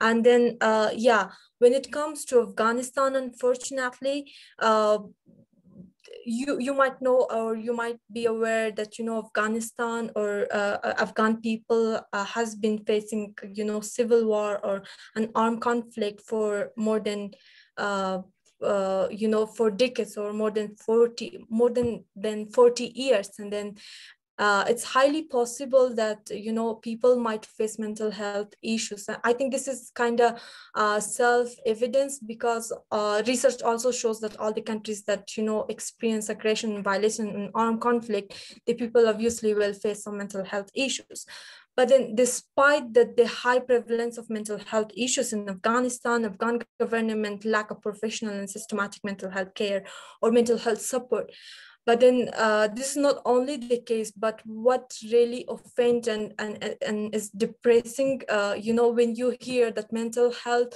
or ministry of public health and national uh, mental health strategy they are keep saying and emphasizing that you know mental health issues are improved in afghanistan uh, we improved a lot uh, you know uh, but then the issue i mean it's not like about how much we improved but then the issue is that they keep emphasizing emphasizing that we improved and showing the people that, you know, this is not a very serious issue.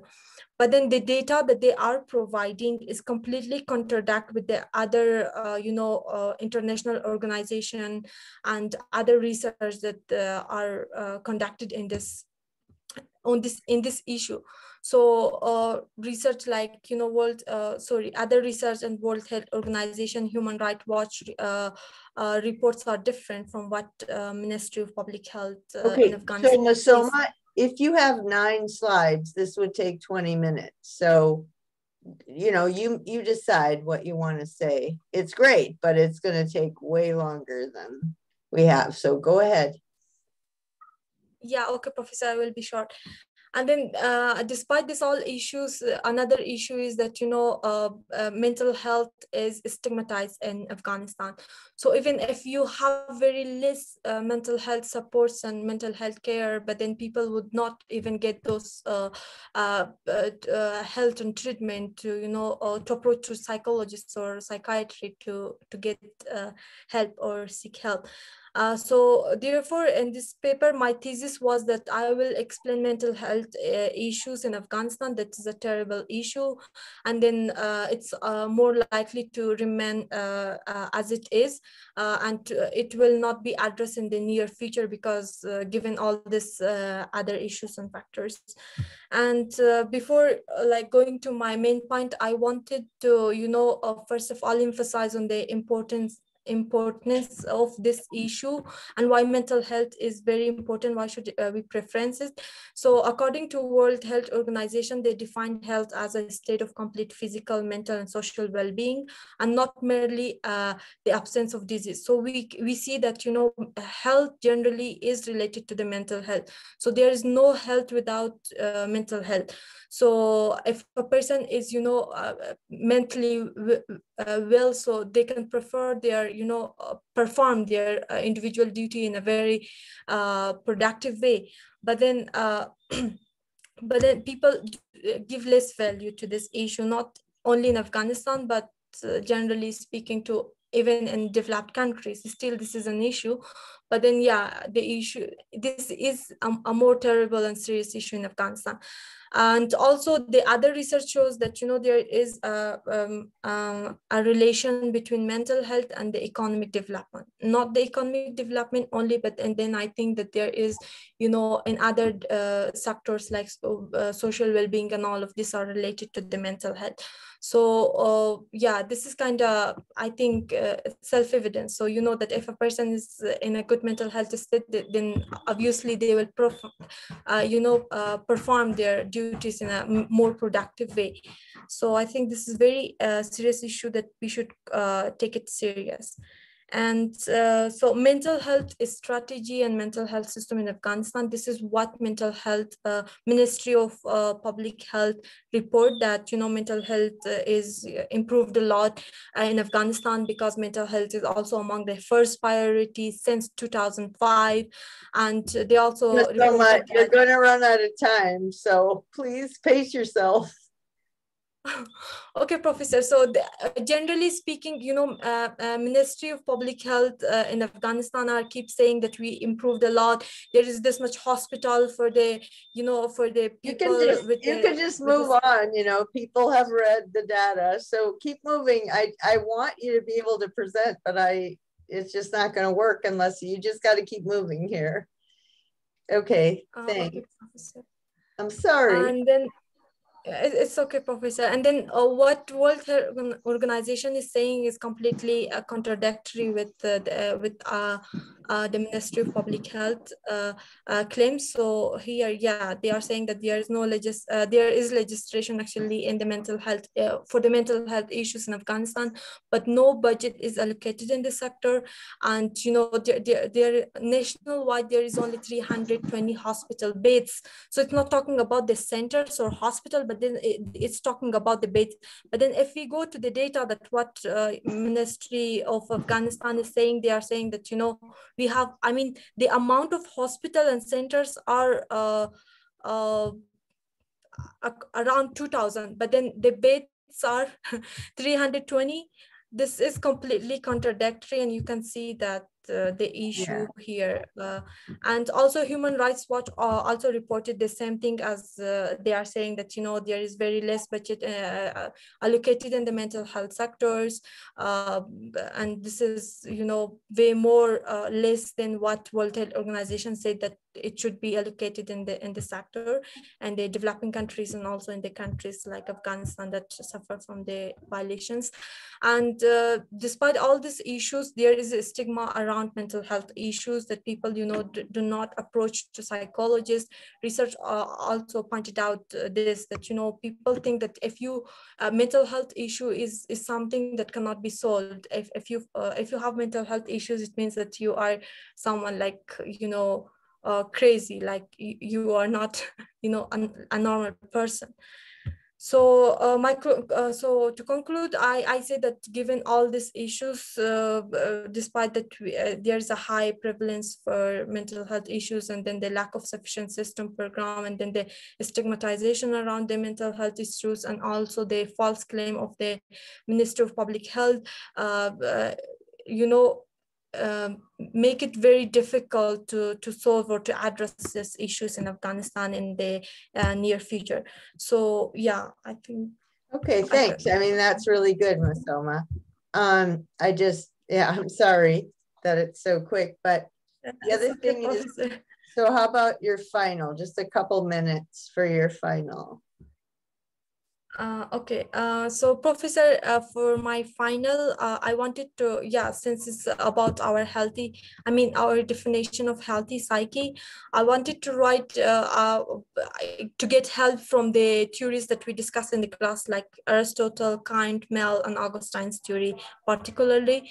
So considering all those theory, I will define that what is a healthy psyche, and uh, uh, why these theories are important uh, to take consider. I, I, mean despite that you know some parts are weak and then we can reject some parts but then it doesn't mean that we should ignore all the theory so i think and com combination of all this theory is you know important. So i think yeah in my final paper i will talk about the advantage and disadvantage of these theories and uh, i will particularly add a which part of theory is more you know a, a good uh, and plausible uh, theory and healthy for our healthy psyche to accept. Yeah okay. The other thing is that um, none of the theories i don't i mean that taking the theory from the point of view of a woman you're going to apply it differently but it's more true right because when privileged white men did it, it corresponded less to the truth. So um, now that women and, and minorities and um, people in a less privileged class are able to take the theory, they should be listened to in the application rather than the privileged white guys, like the positive psychologists. Um, so if any of you want to include that when you're talking about classical humanism, that it really has to incorporate. Um, I think Fardeen was saying that. So if any of you wants to walk away for 10 minutes or something, that's fine. We have an hour and 10 minutes and we have, I think, five more students. So I, I am going to be pushing you for 10 minutes.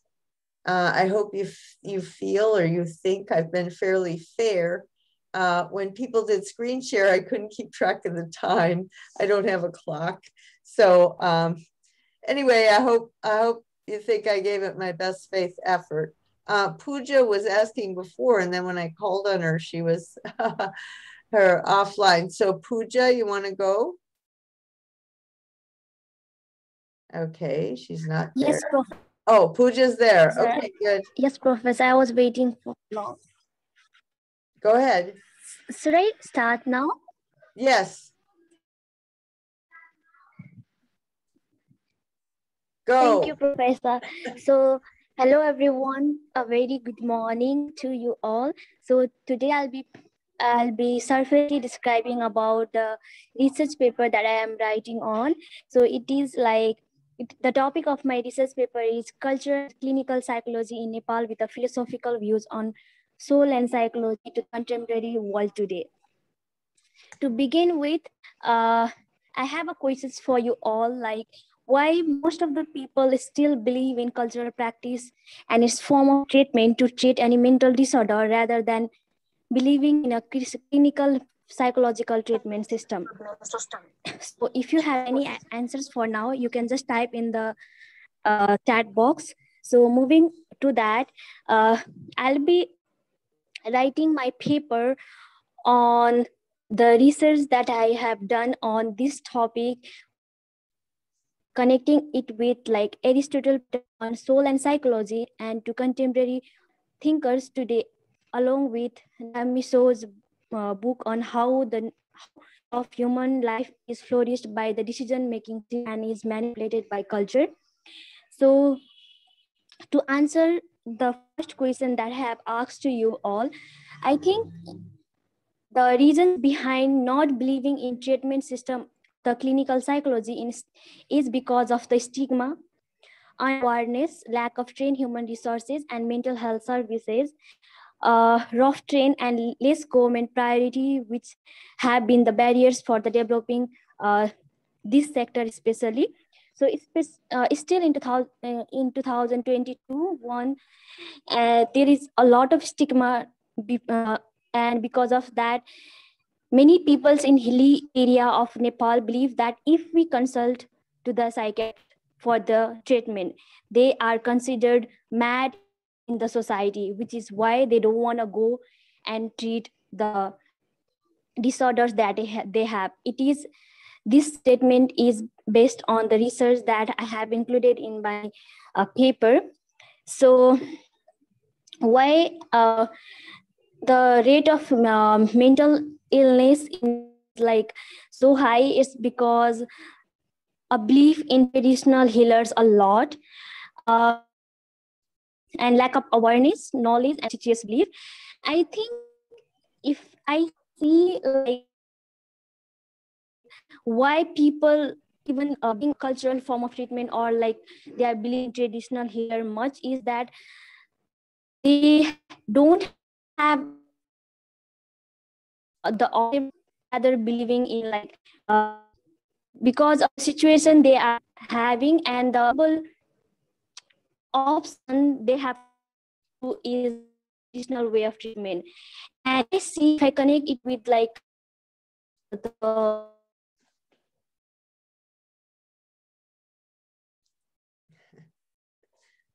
Oh dear. Okay. From given to that switch.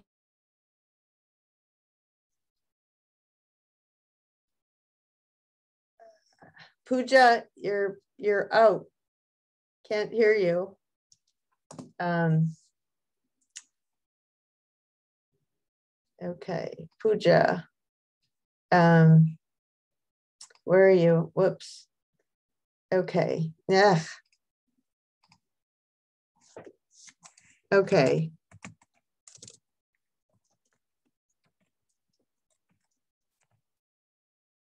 Um, I think we're just going to have to move on. And Pooja, you can come. Sorry, Professor. Can I, can I, can I, I mean, the network got. Okay, Pooja's back for a minute. Pooja's back, and then Aurora can go next. I'll just finish don't worry. Uh, so where I was that uh, using practical wisdom in the situation they have been through, using the Aristotle vices.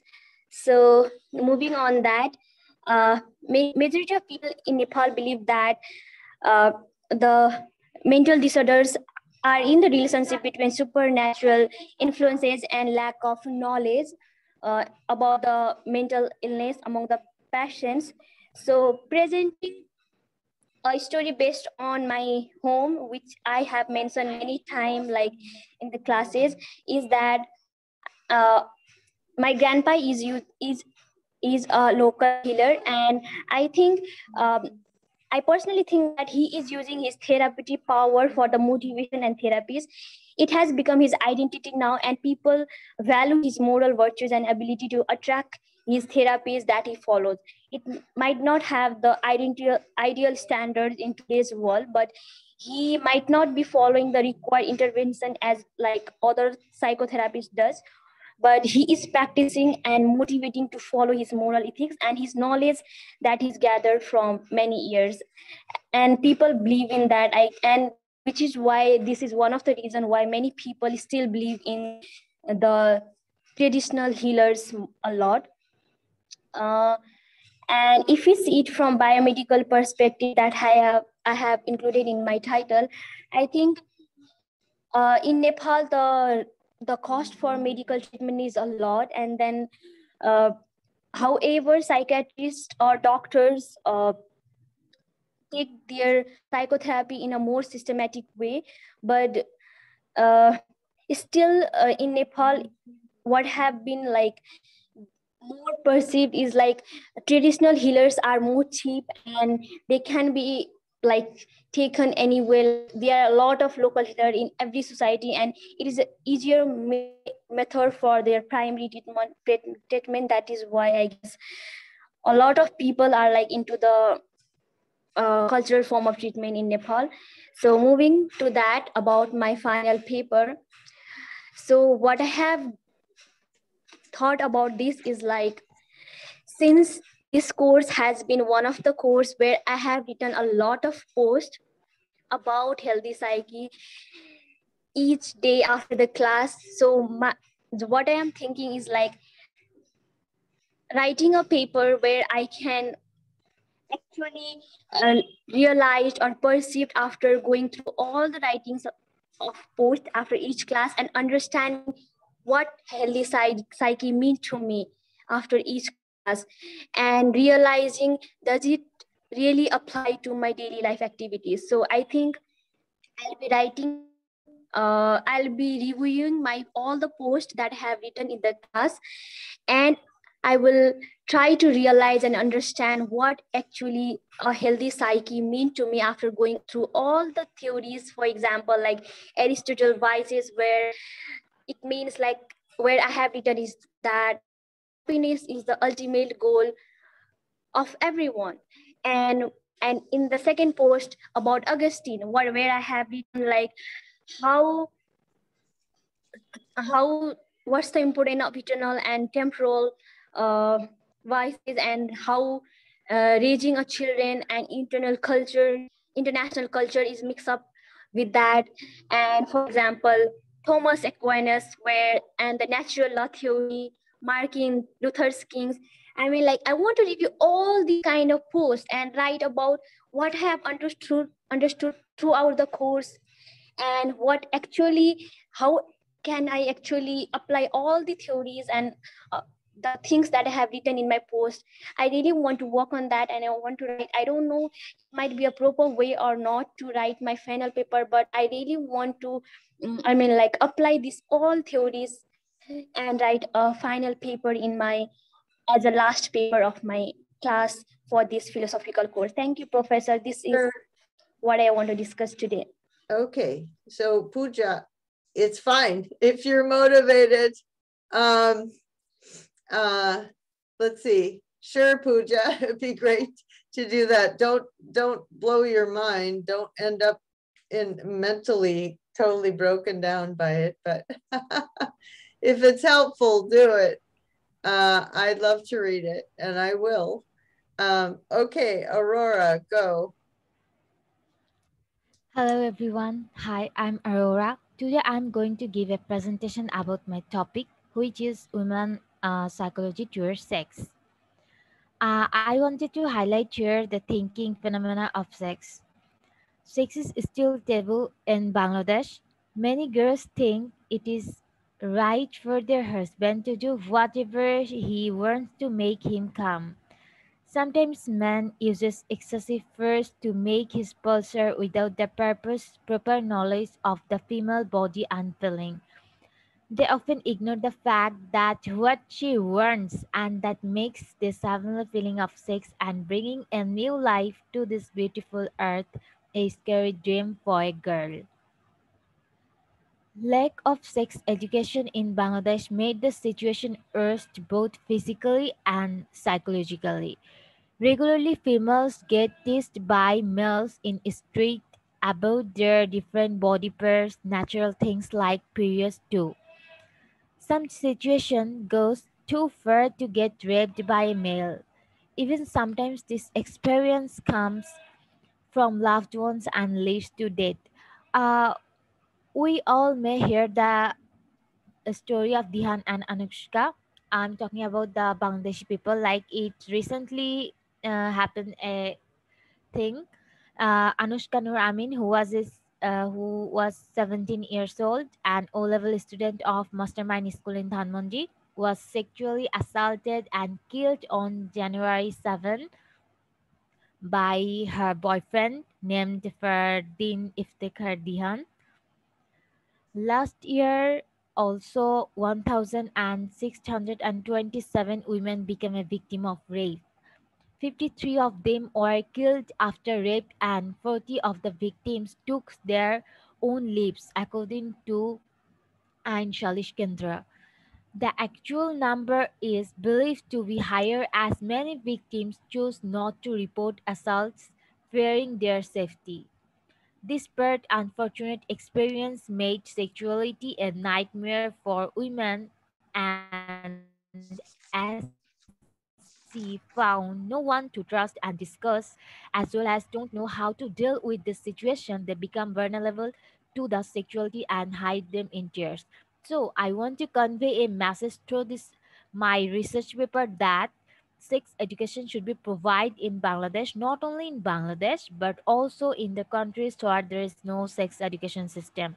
As a result, the negativity about sex will be removed and the idea of leading a kind of healthy sex life will be formed.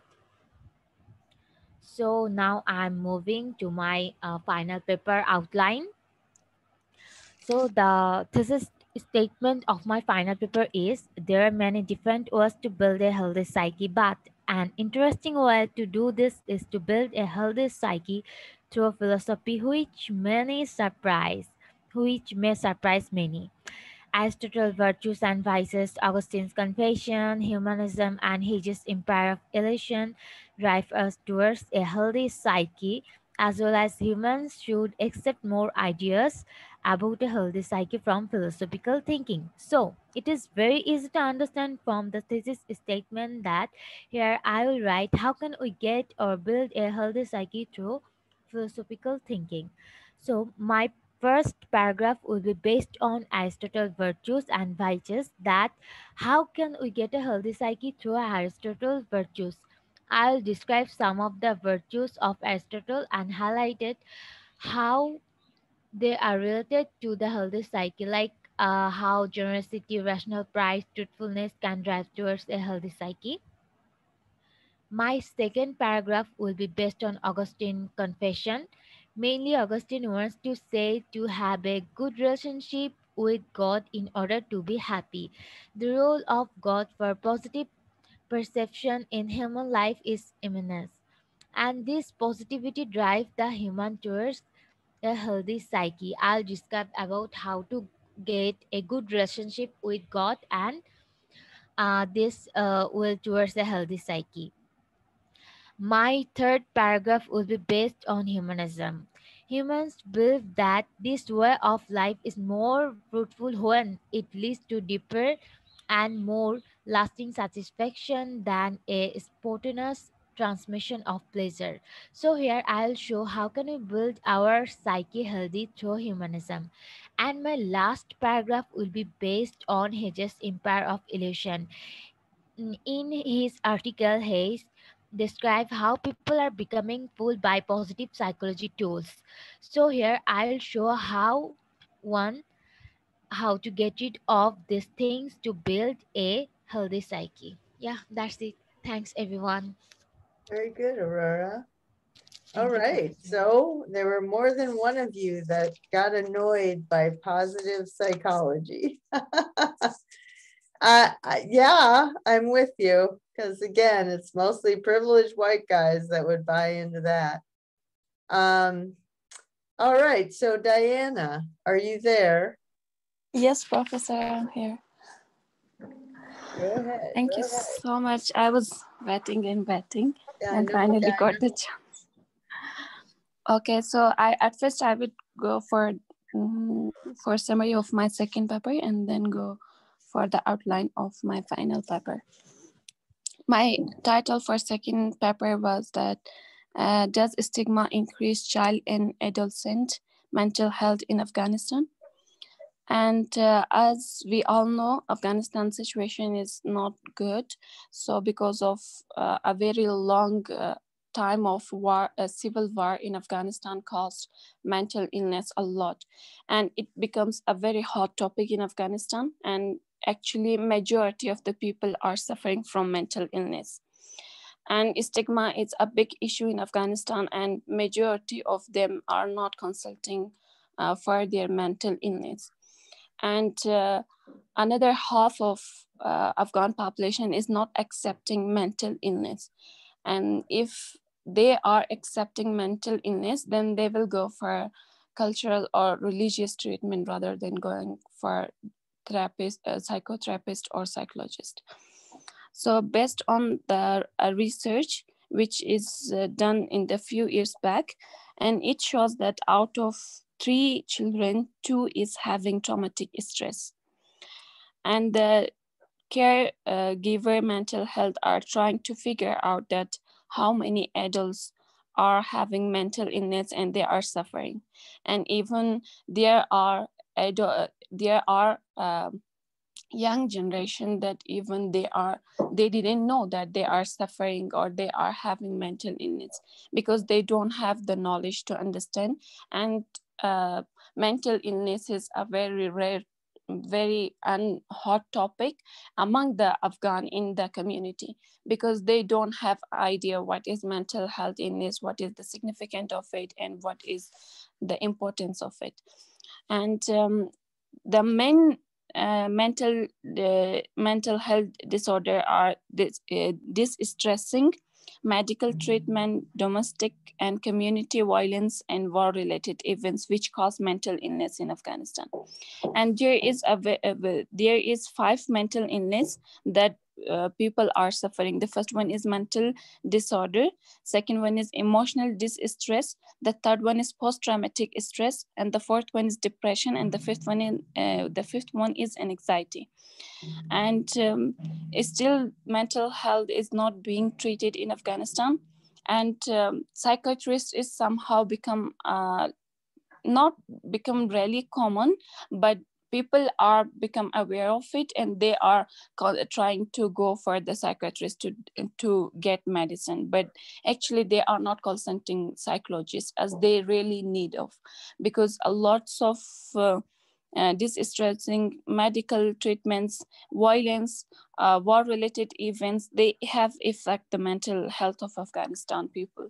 But people are not getting it or they are not accepting because of the stigma as well and because of the culture because of the religion uh, restriction they have accept that there is no mental illness or if they accept again they will not go for treatment. An outline for my uh, final paper i have chosen about the health what is healthy psyche. And according to my belief i think that meant uh, healthy psyche is the balance of mental and emotional state of a person and this can allow a person to be productive during their day to contribute meaningfully to the community that they are living in. And when this balance is getting disturbed, and the, then it will be a very difficult to the person that they can function uh, positively to be productive. That's why I'm focusing on the men, on the eight rules that I'm practicing every day and um, the first one is that at first, every single person needs to value yourself.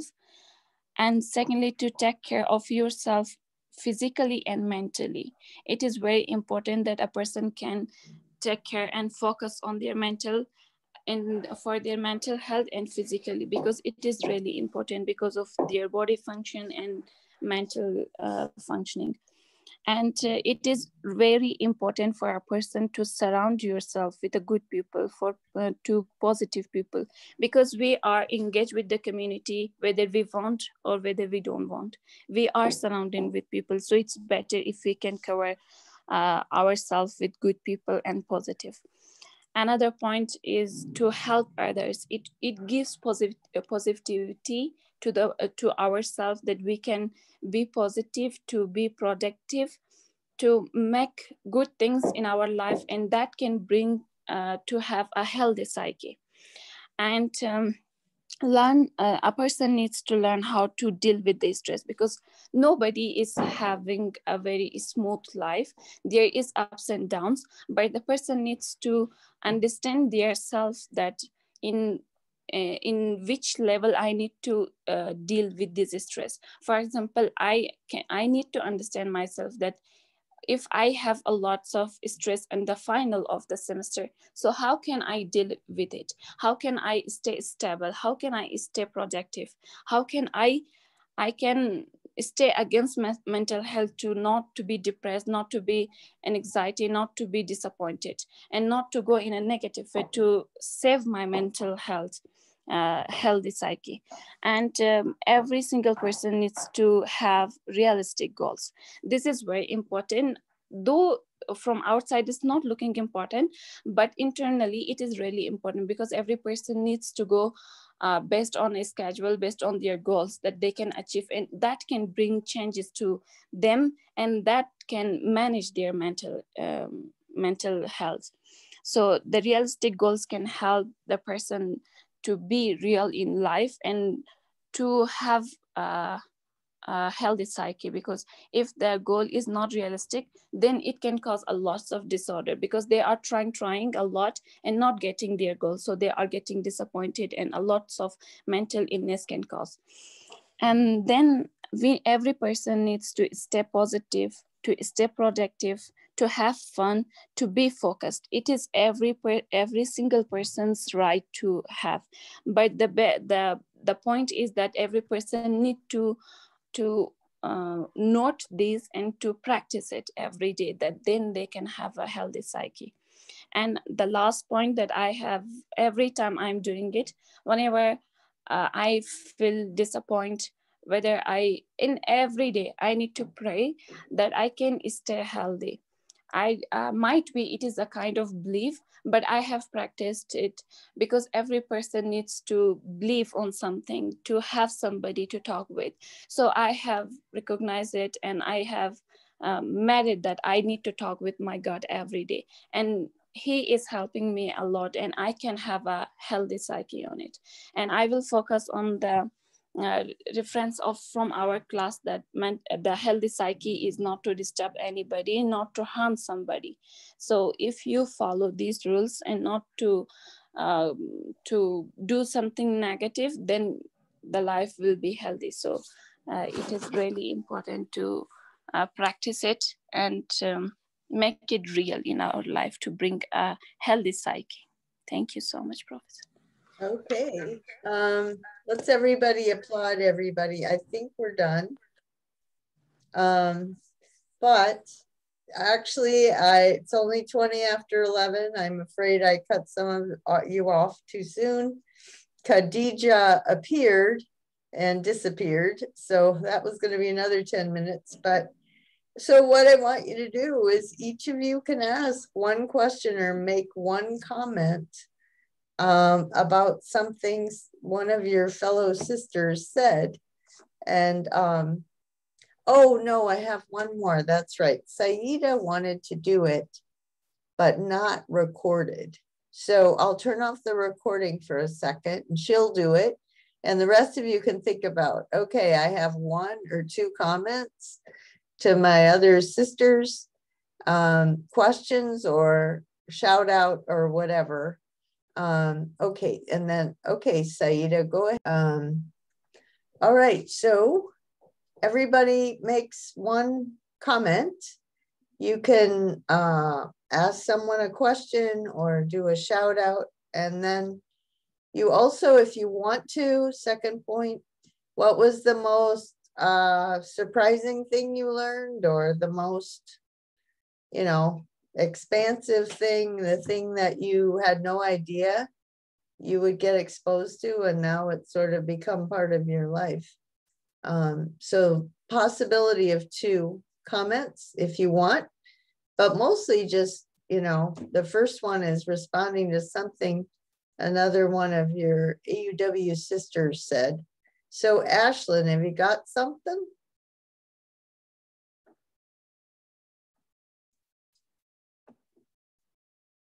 Ah, she's not there. Um, phallic. Uh, no, professor. You don't have anything? No. Oh, okay. Uh, no, okay. Isabel.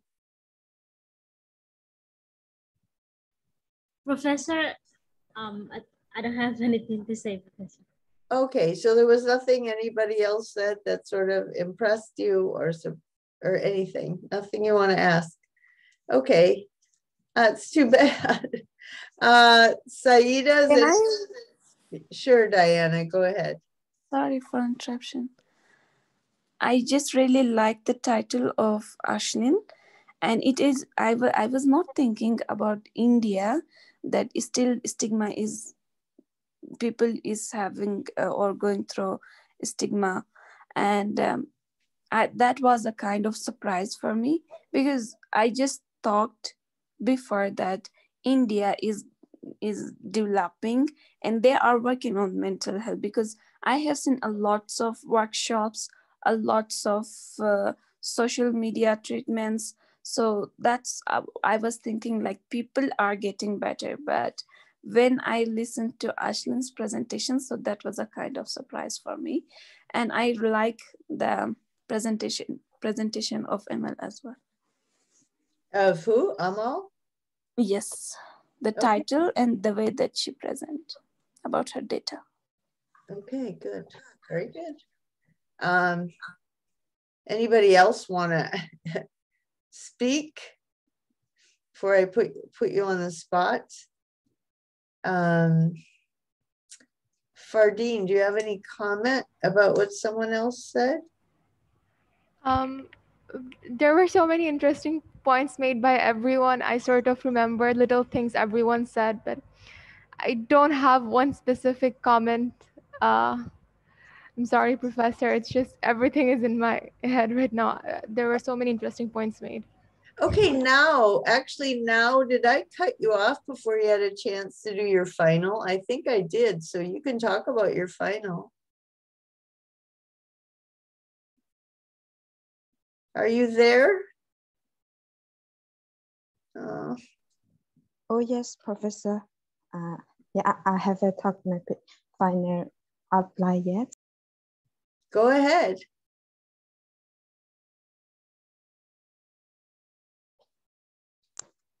Yes, there is my final outline. I'm going to like uh with I I have made uh later outline. Yeah.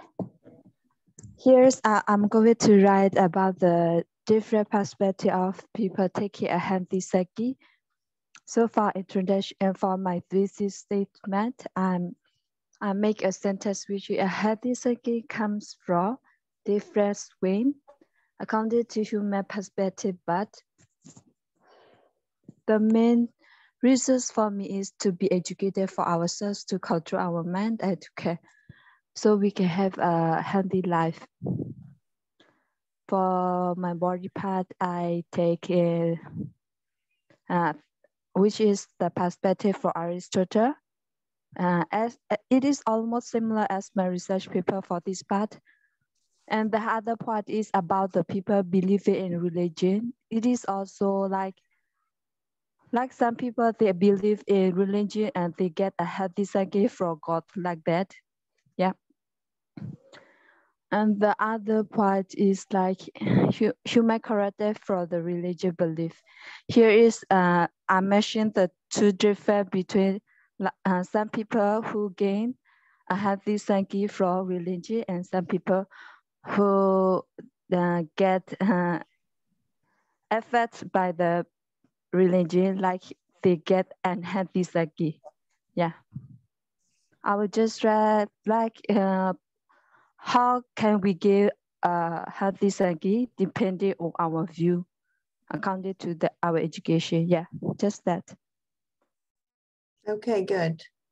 Um, I think I'll go back over um, AUW's mission statement just to, you know, sort of think it through, you know, everybody just sort of glosses over when they when they're exposed to these things. Of course, this is what I take seriously, but let's just um, you know, just process it for a minute. Um, highly motivated and effective professionals, leaders, service-centered citizens of the region uh, promote the development of an intercultural understanding among the people of Asia. So, you know, when someone's structuring an institution, um, there's lots of flaws and there's lots of uh, human error. But I, obviously, this was the mission when they started it and went to the donors to get money. And um, you know, it's it's a high bar, which means you'll have a complicated life. But you're like to see yourself as part of this whole historical move, right? To move women into positions they've never been in, which means you're going to have a life unlike the people, you know, you're not going to be able to live by custom and habit. You're going to have to be constantly thinking. Um, and you you know, even men who, well, men uh, whose fathers also were professionals and whatever, they don't have as much psychic work to do to get there. They're just basically imitating. They might think, I know a lot of guys that think they're really different from their dads, but they're not. Within this context of white male privilege, developed country, you know, whole lot of other stuff they don't even think about, but they think about the one thing that they disagree with their father on or something like that. So every, you know, every layer of new culture, you know, every breakthrough in culture that you're engaged in is psychologically harder for you. But if you keep the mission in mind, right? Um, I think I think that helps. It I don't want uh, AUW students to feel guilty if they fall back or whatever.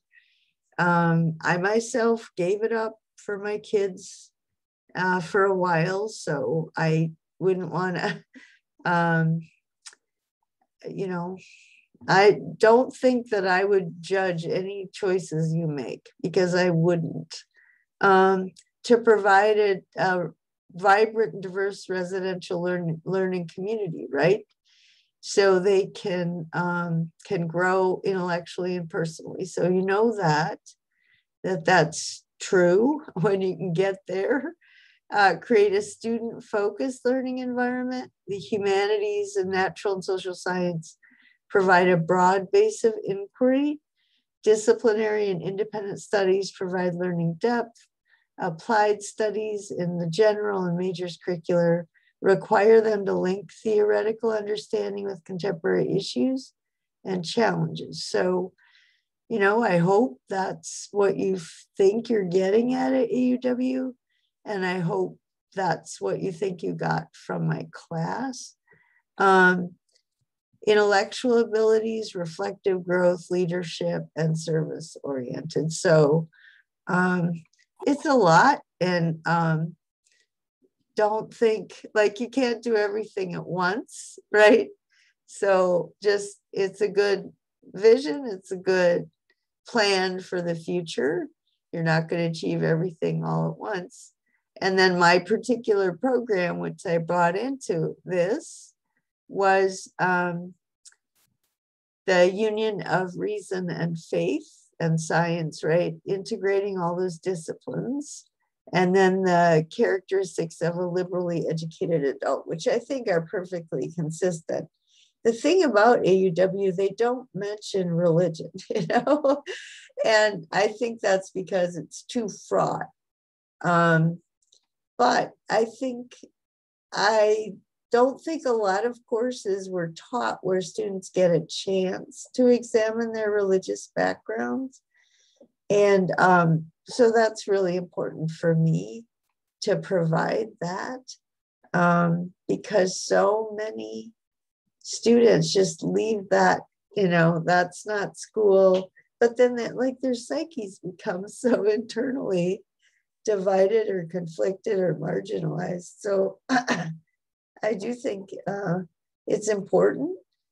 And and the other hand, and the other thing about me, which I can't control, um, when I was in third grade, right, I decided God wasn't a person. And when I was in sixth grade, my dad is preaching this sermon, and I decide I don't want to ever tell anybody what to think or what to do, but I do want to do I do want people to take this stuff seriously. So that's just the way I was wired. It's nothing I can really control. But I do have a conviction. I didn't want anybody telling me what to think, right? So um, so I like to see students, you know, independent women thinkers. And I know some of you have gotten super anxious about my class because, you know, what are we supposed to do? I say, I don't know because I don't know what's on your mind. I don't know what you think. And um, I know that can be really anxiety producing. Uh, but I did have office hours. So I, you know, you could always come and and ask. And I just feel like by the time you graduate, you don't want to have checked off a checklist of having done everything. Every professor wanted you to do every class, but you like, there's nothing else there, right? What do I want? Who am I? What do I think? And so, you know, there's definitely classes that are trying to help you step back so that by the time you graduate, I know who I am, I know what I want, I know my sense of mission. At least for now, I can keep an open mind. I can grow in that mission, but I have, you know, I have some empowerment. I have a sense of myself and what I want, right? What matters to me, because it's also something I can help other people with.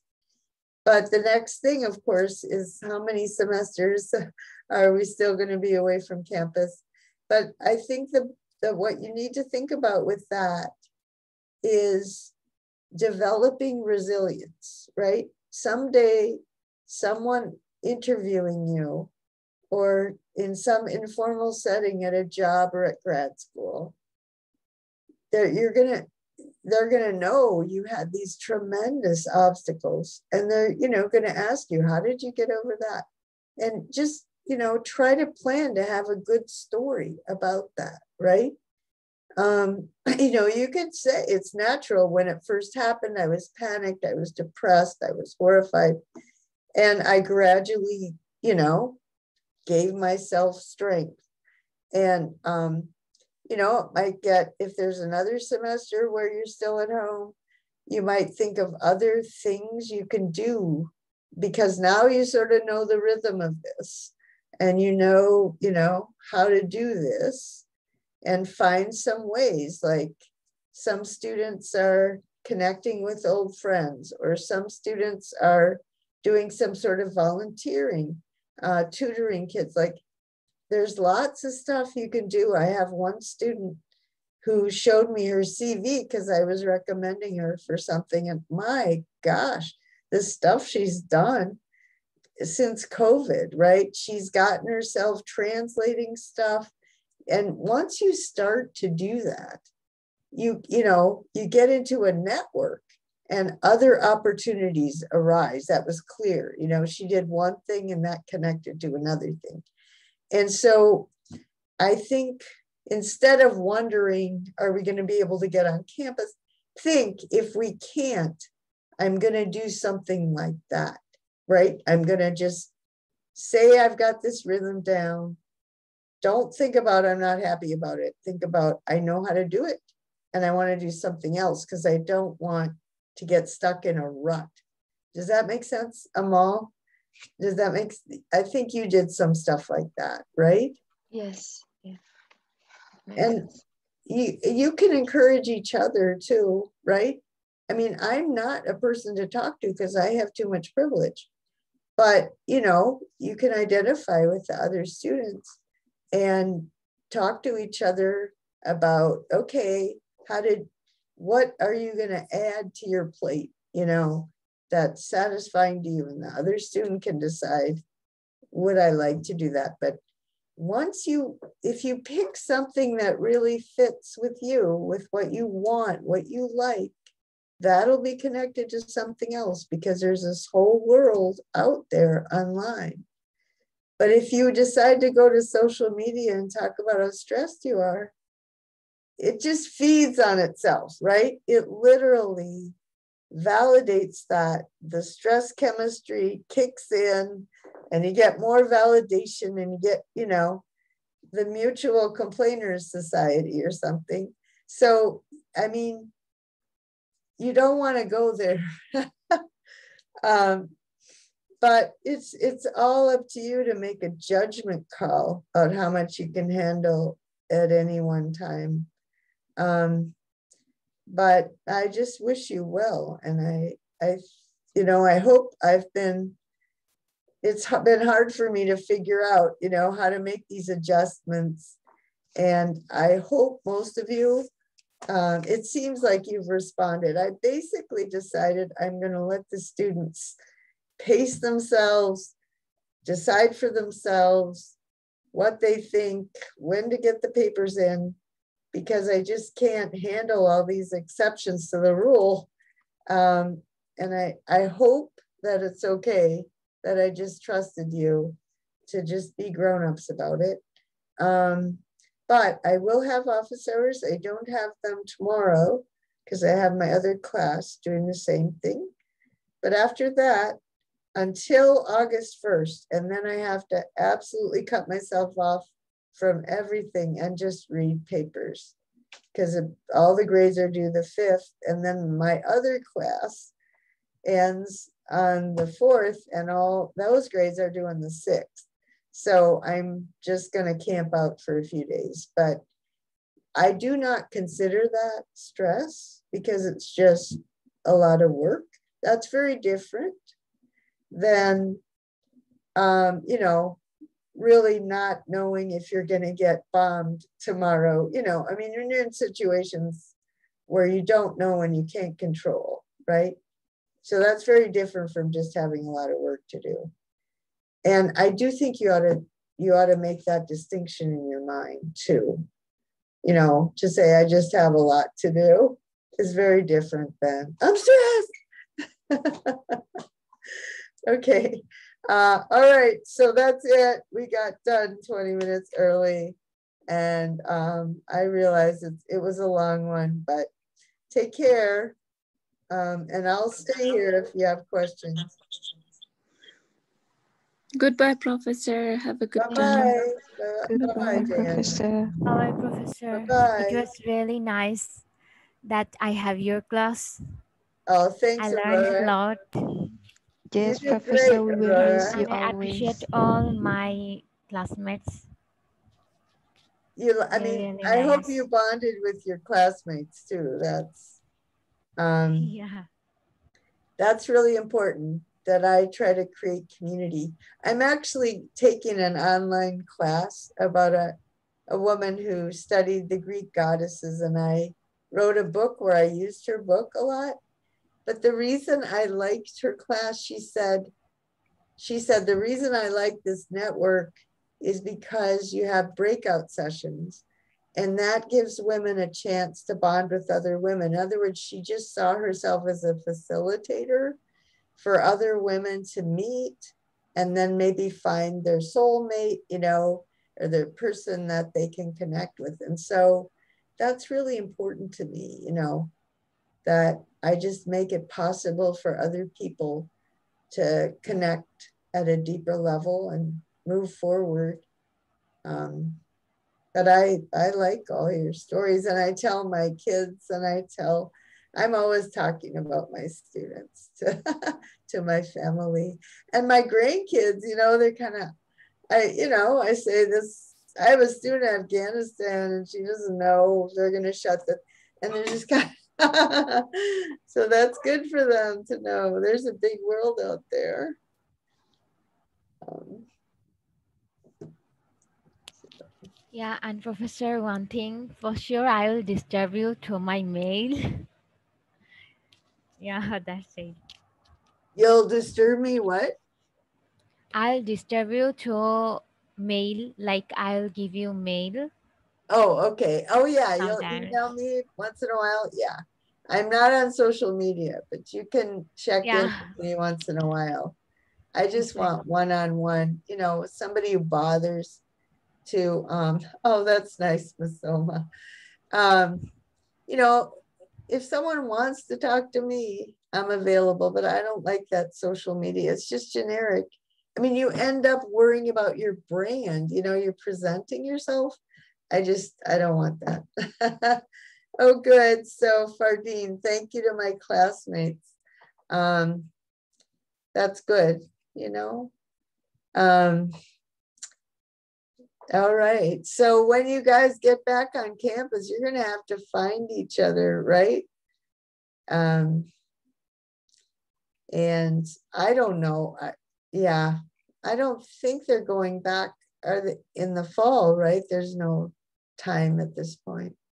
I don't know. Don't don't quote me on that, but um, anyway, we'll see what happens.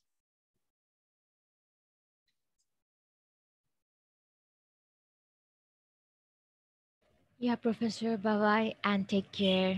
Yeah, you too.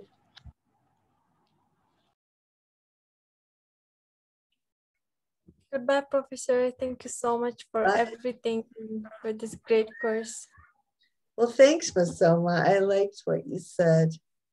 And new chat, oh my gosh, beating your children.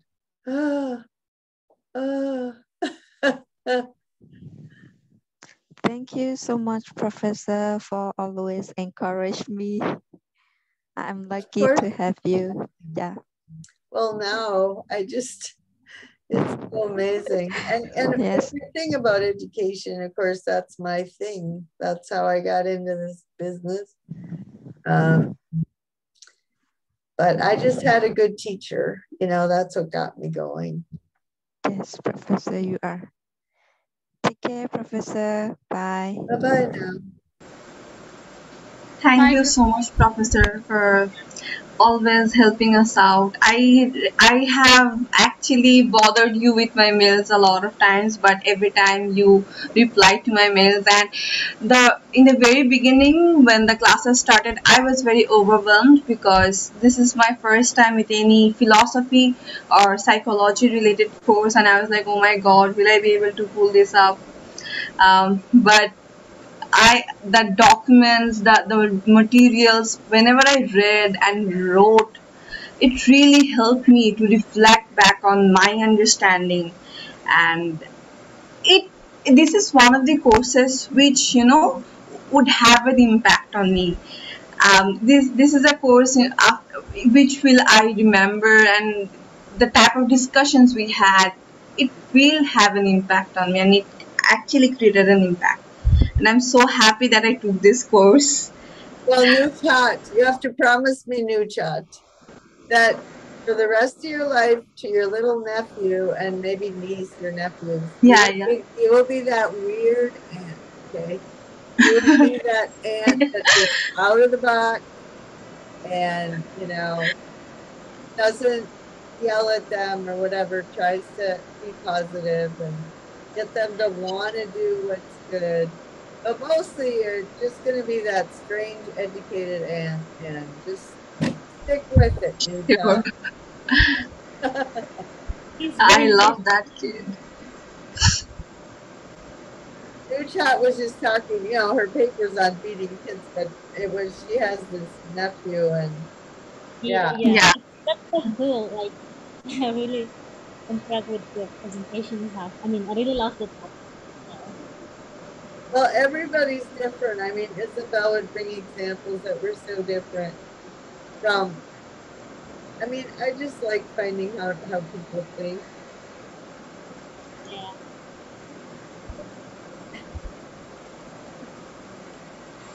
Yeah, it was good. Let's see.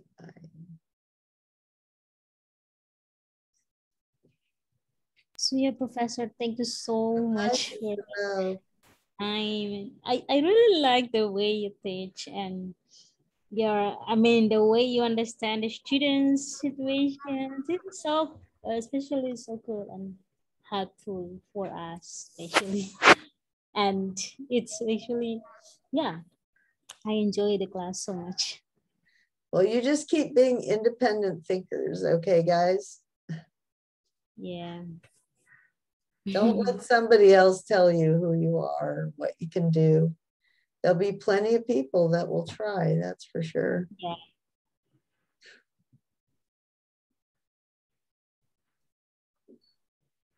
So thank you so uh-huh. much, Professor. You have a good night. Yeah, I will. Who else? Bye, Professor. I hope to meet you someday on campus. Yes, one of these years. Okay, I'm gonna go. I have to make another one hour video for my other class. Bye, Professor, bye, Professor. Thank you Bye-bye.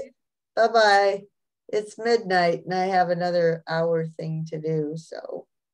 Um, so I think I will go.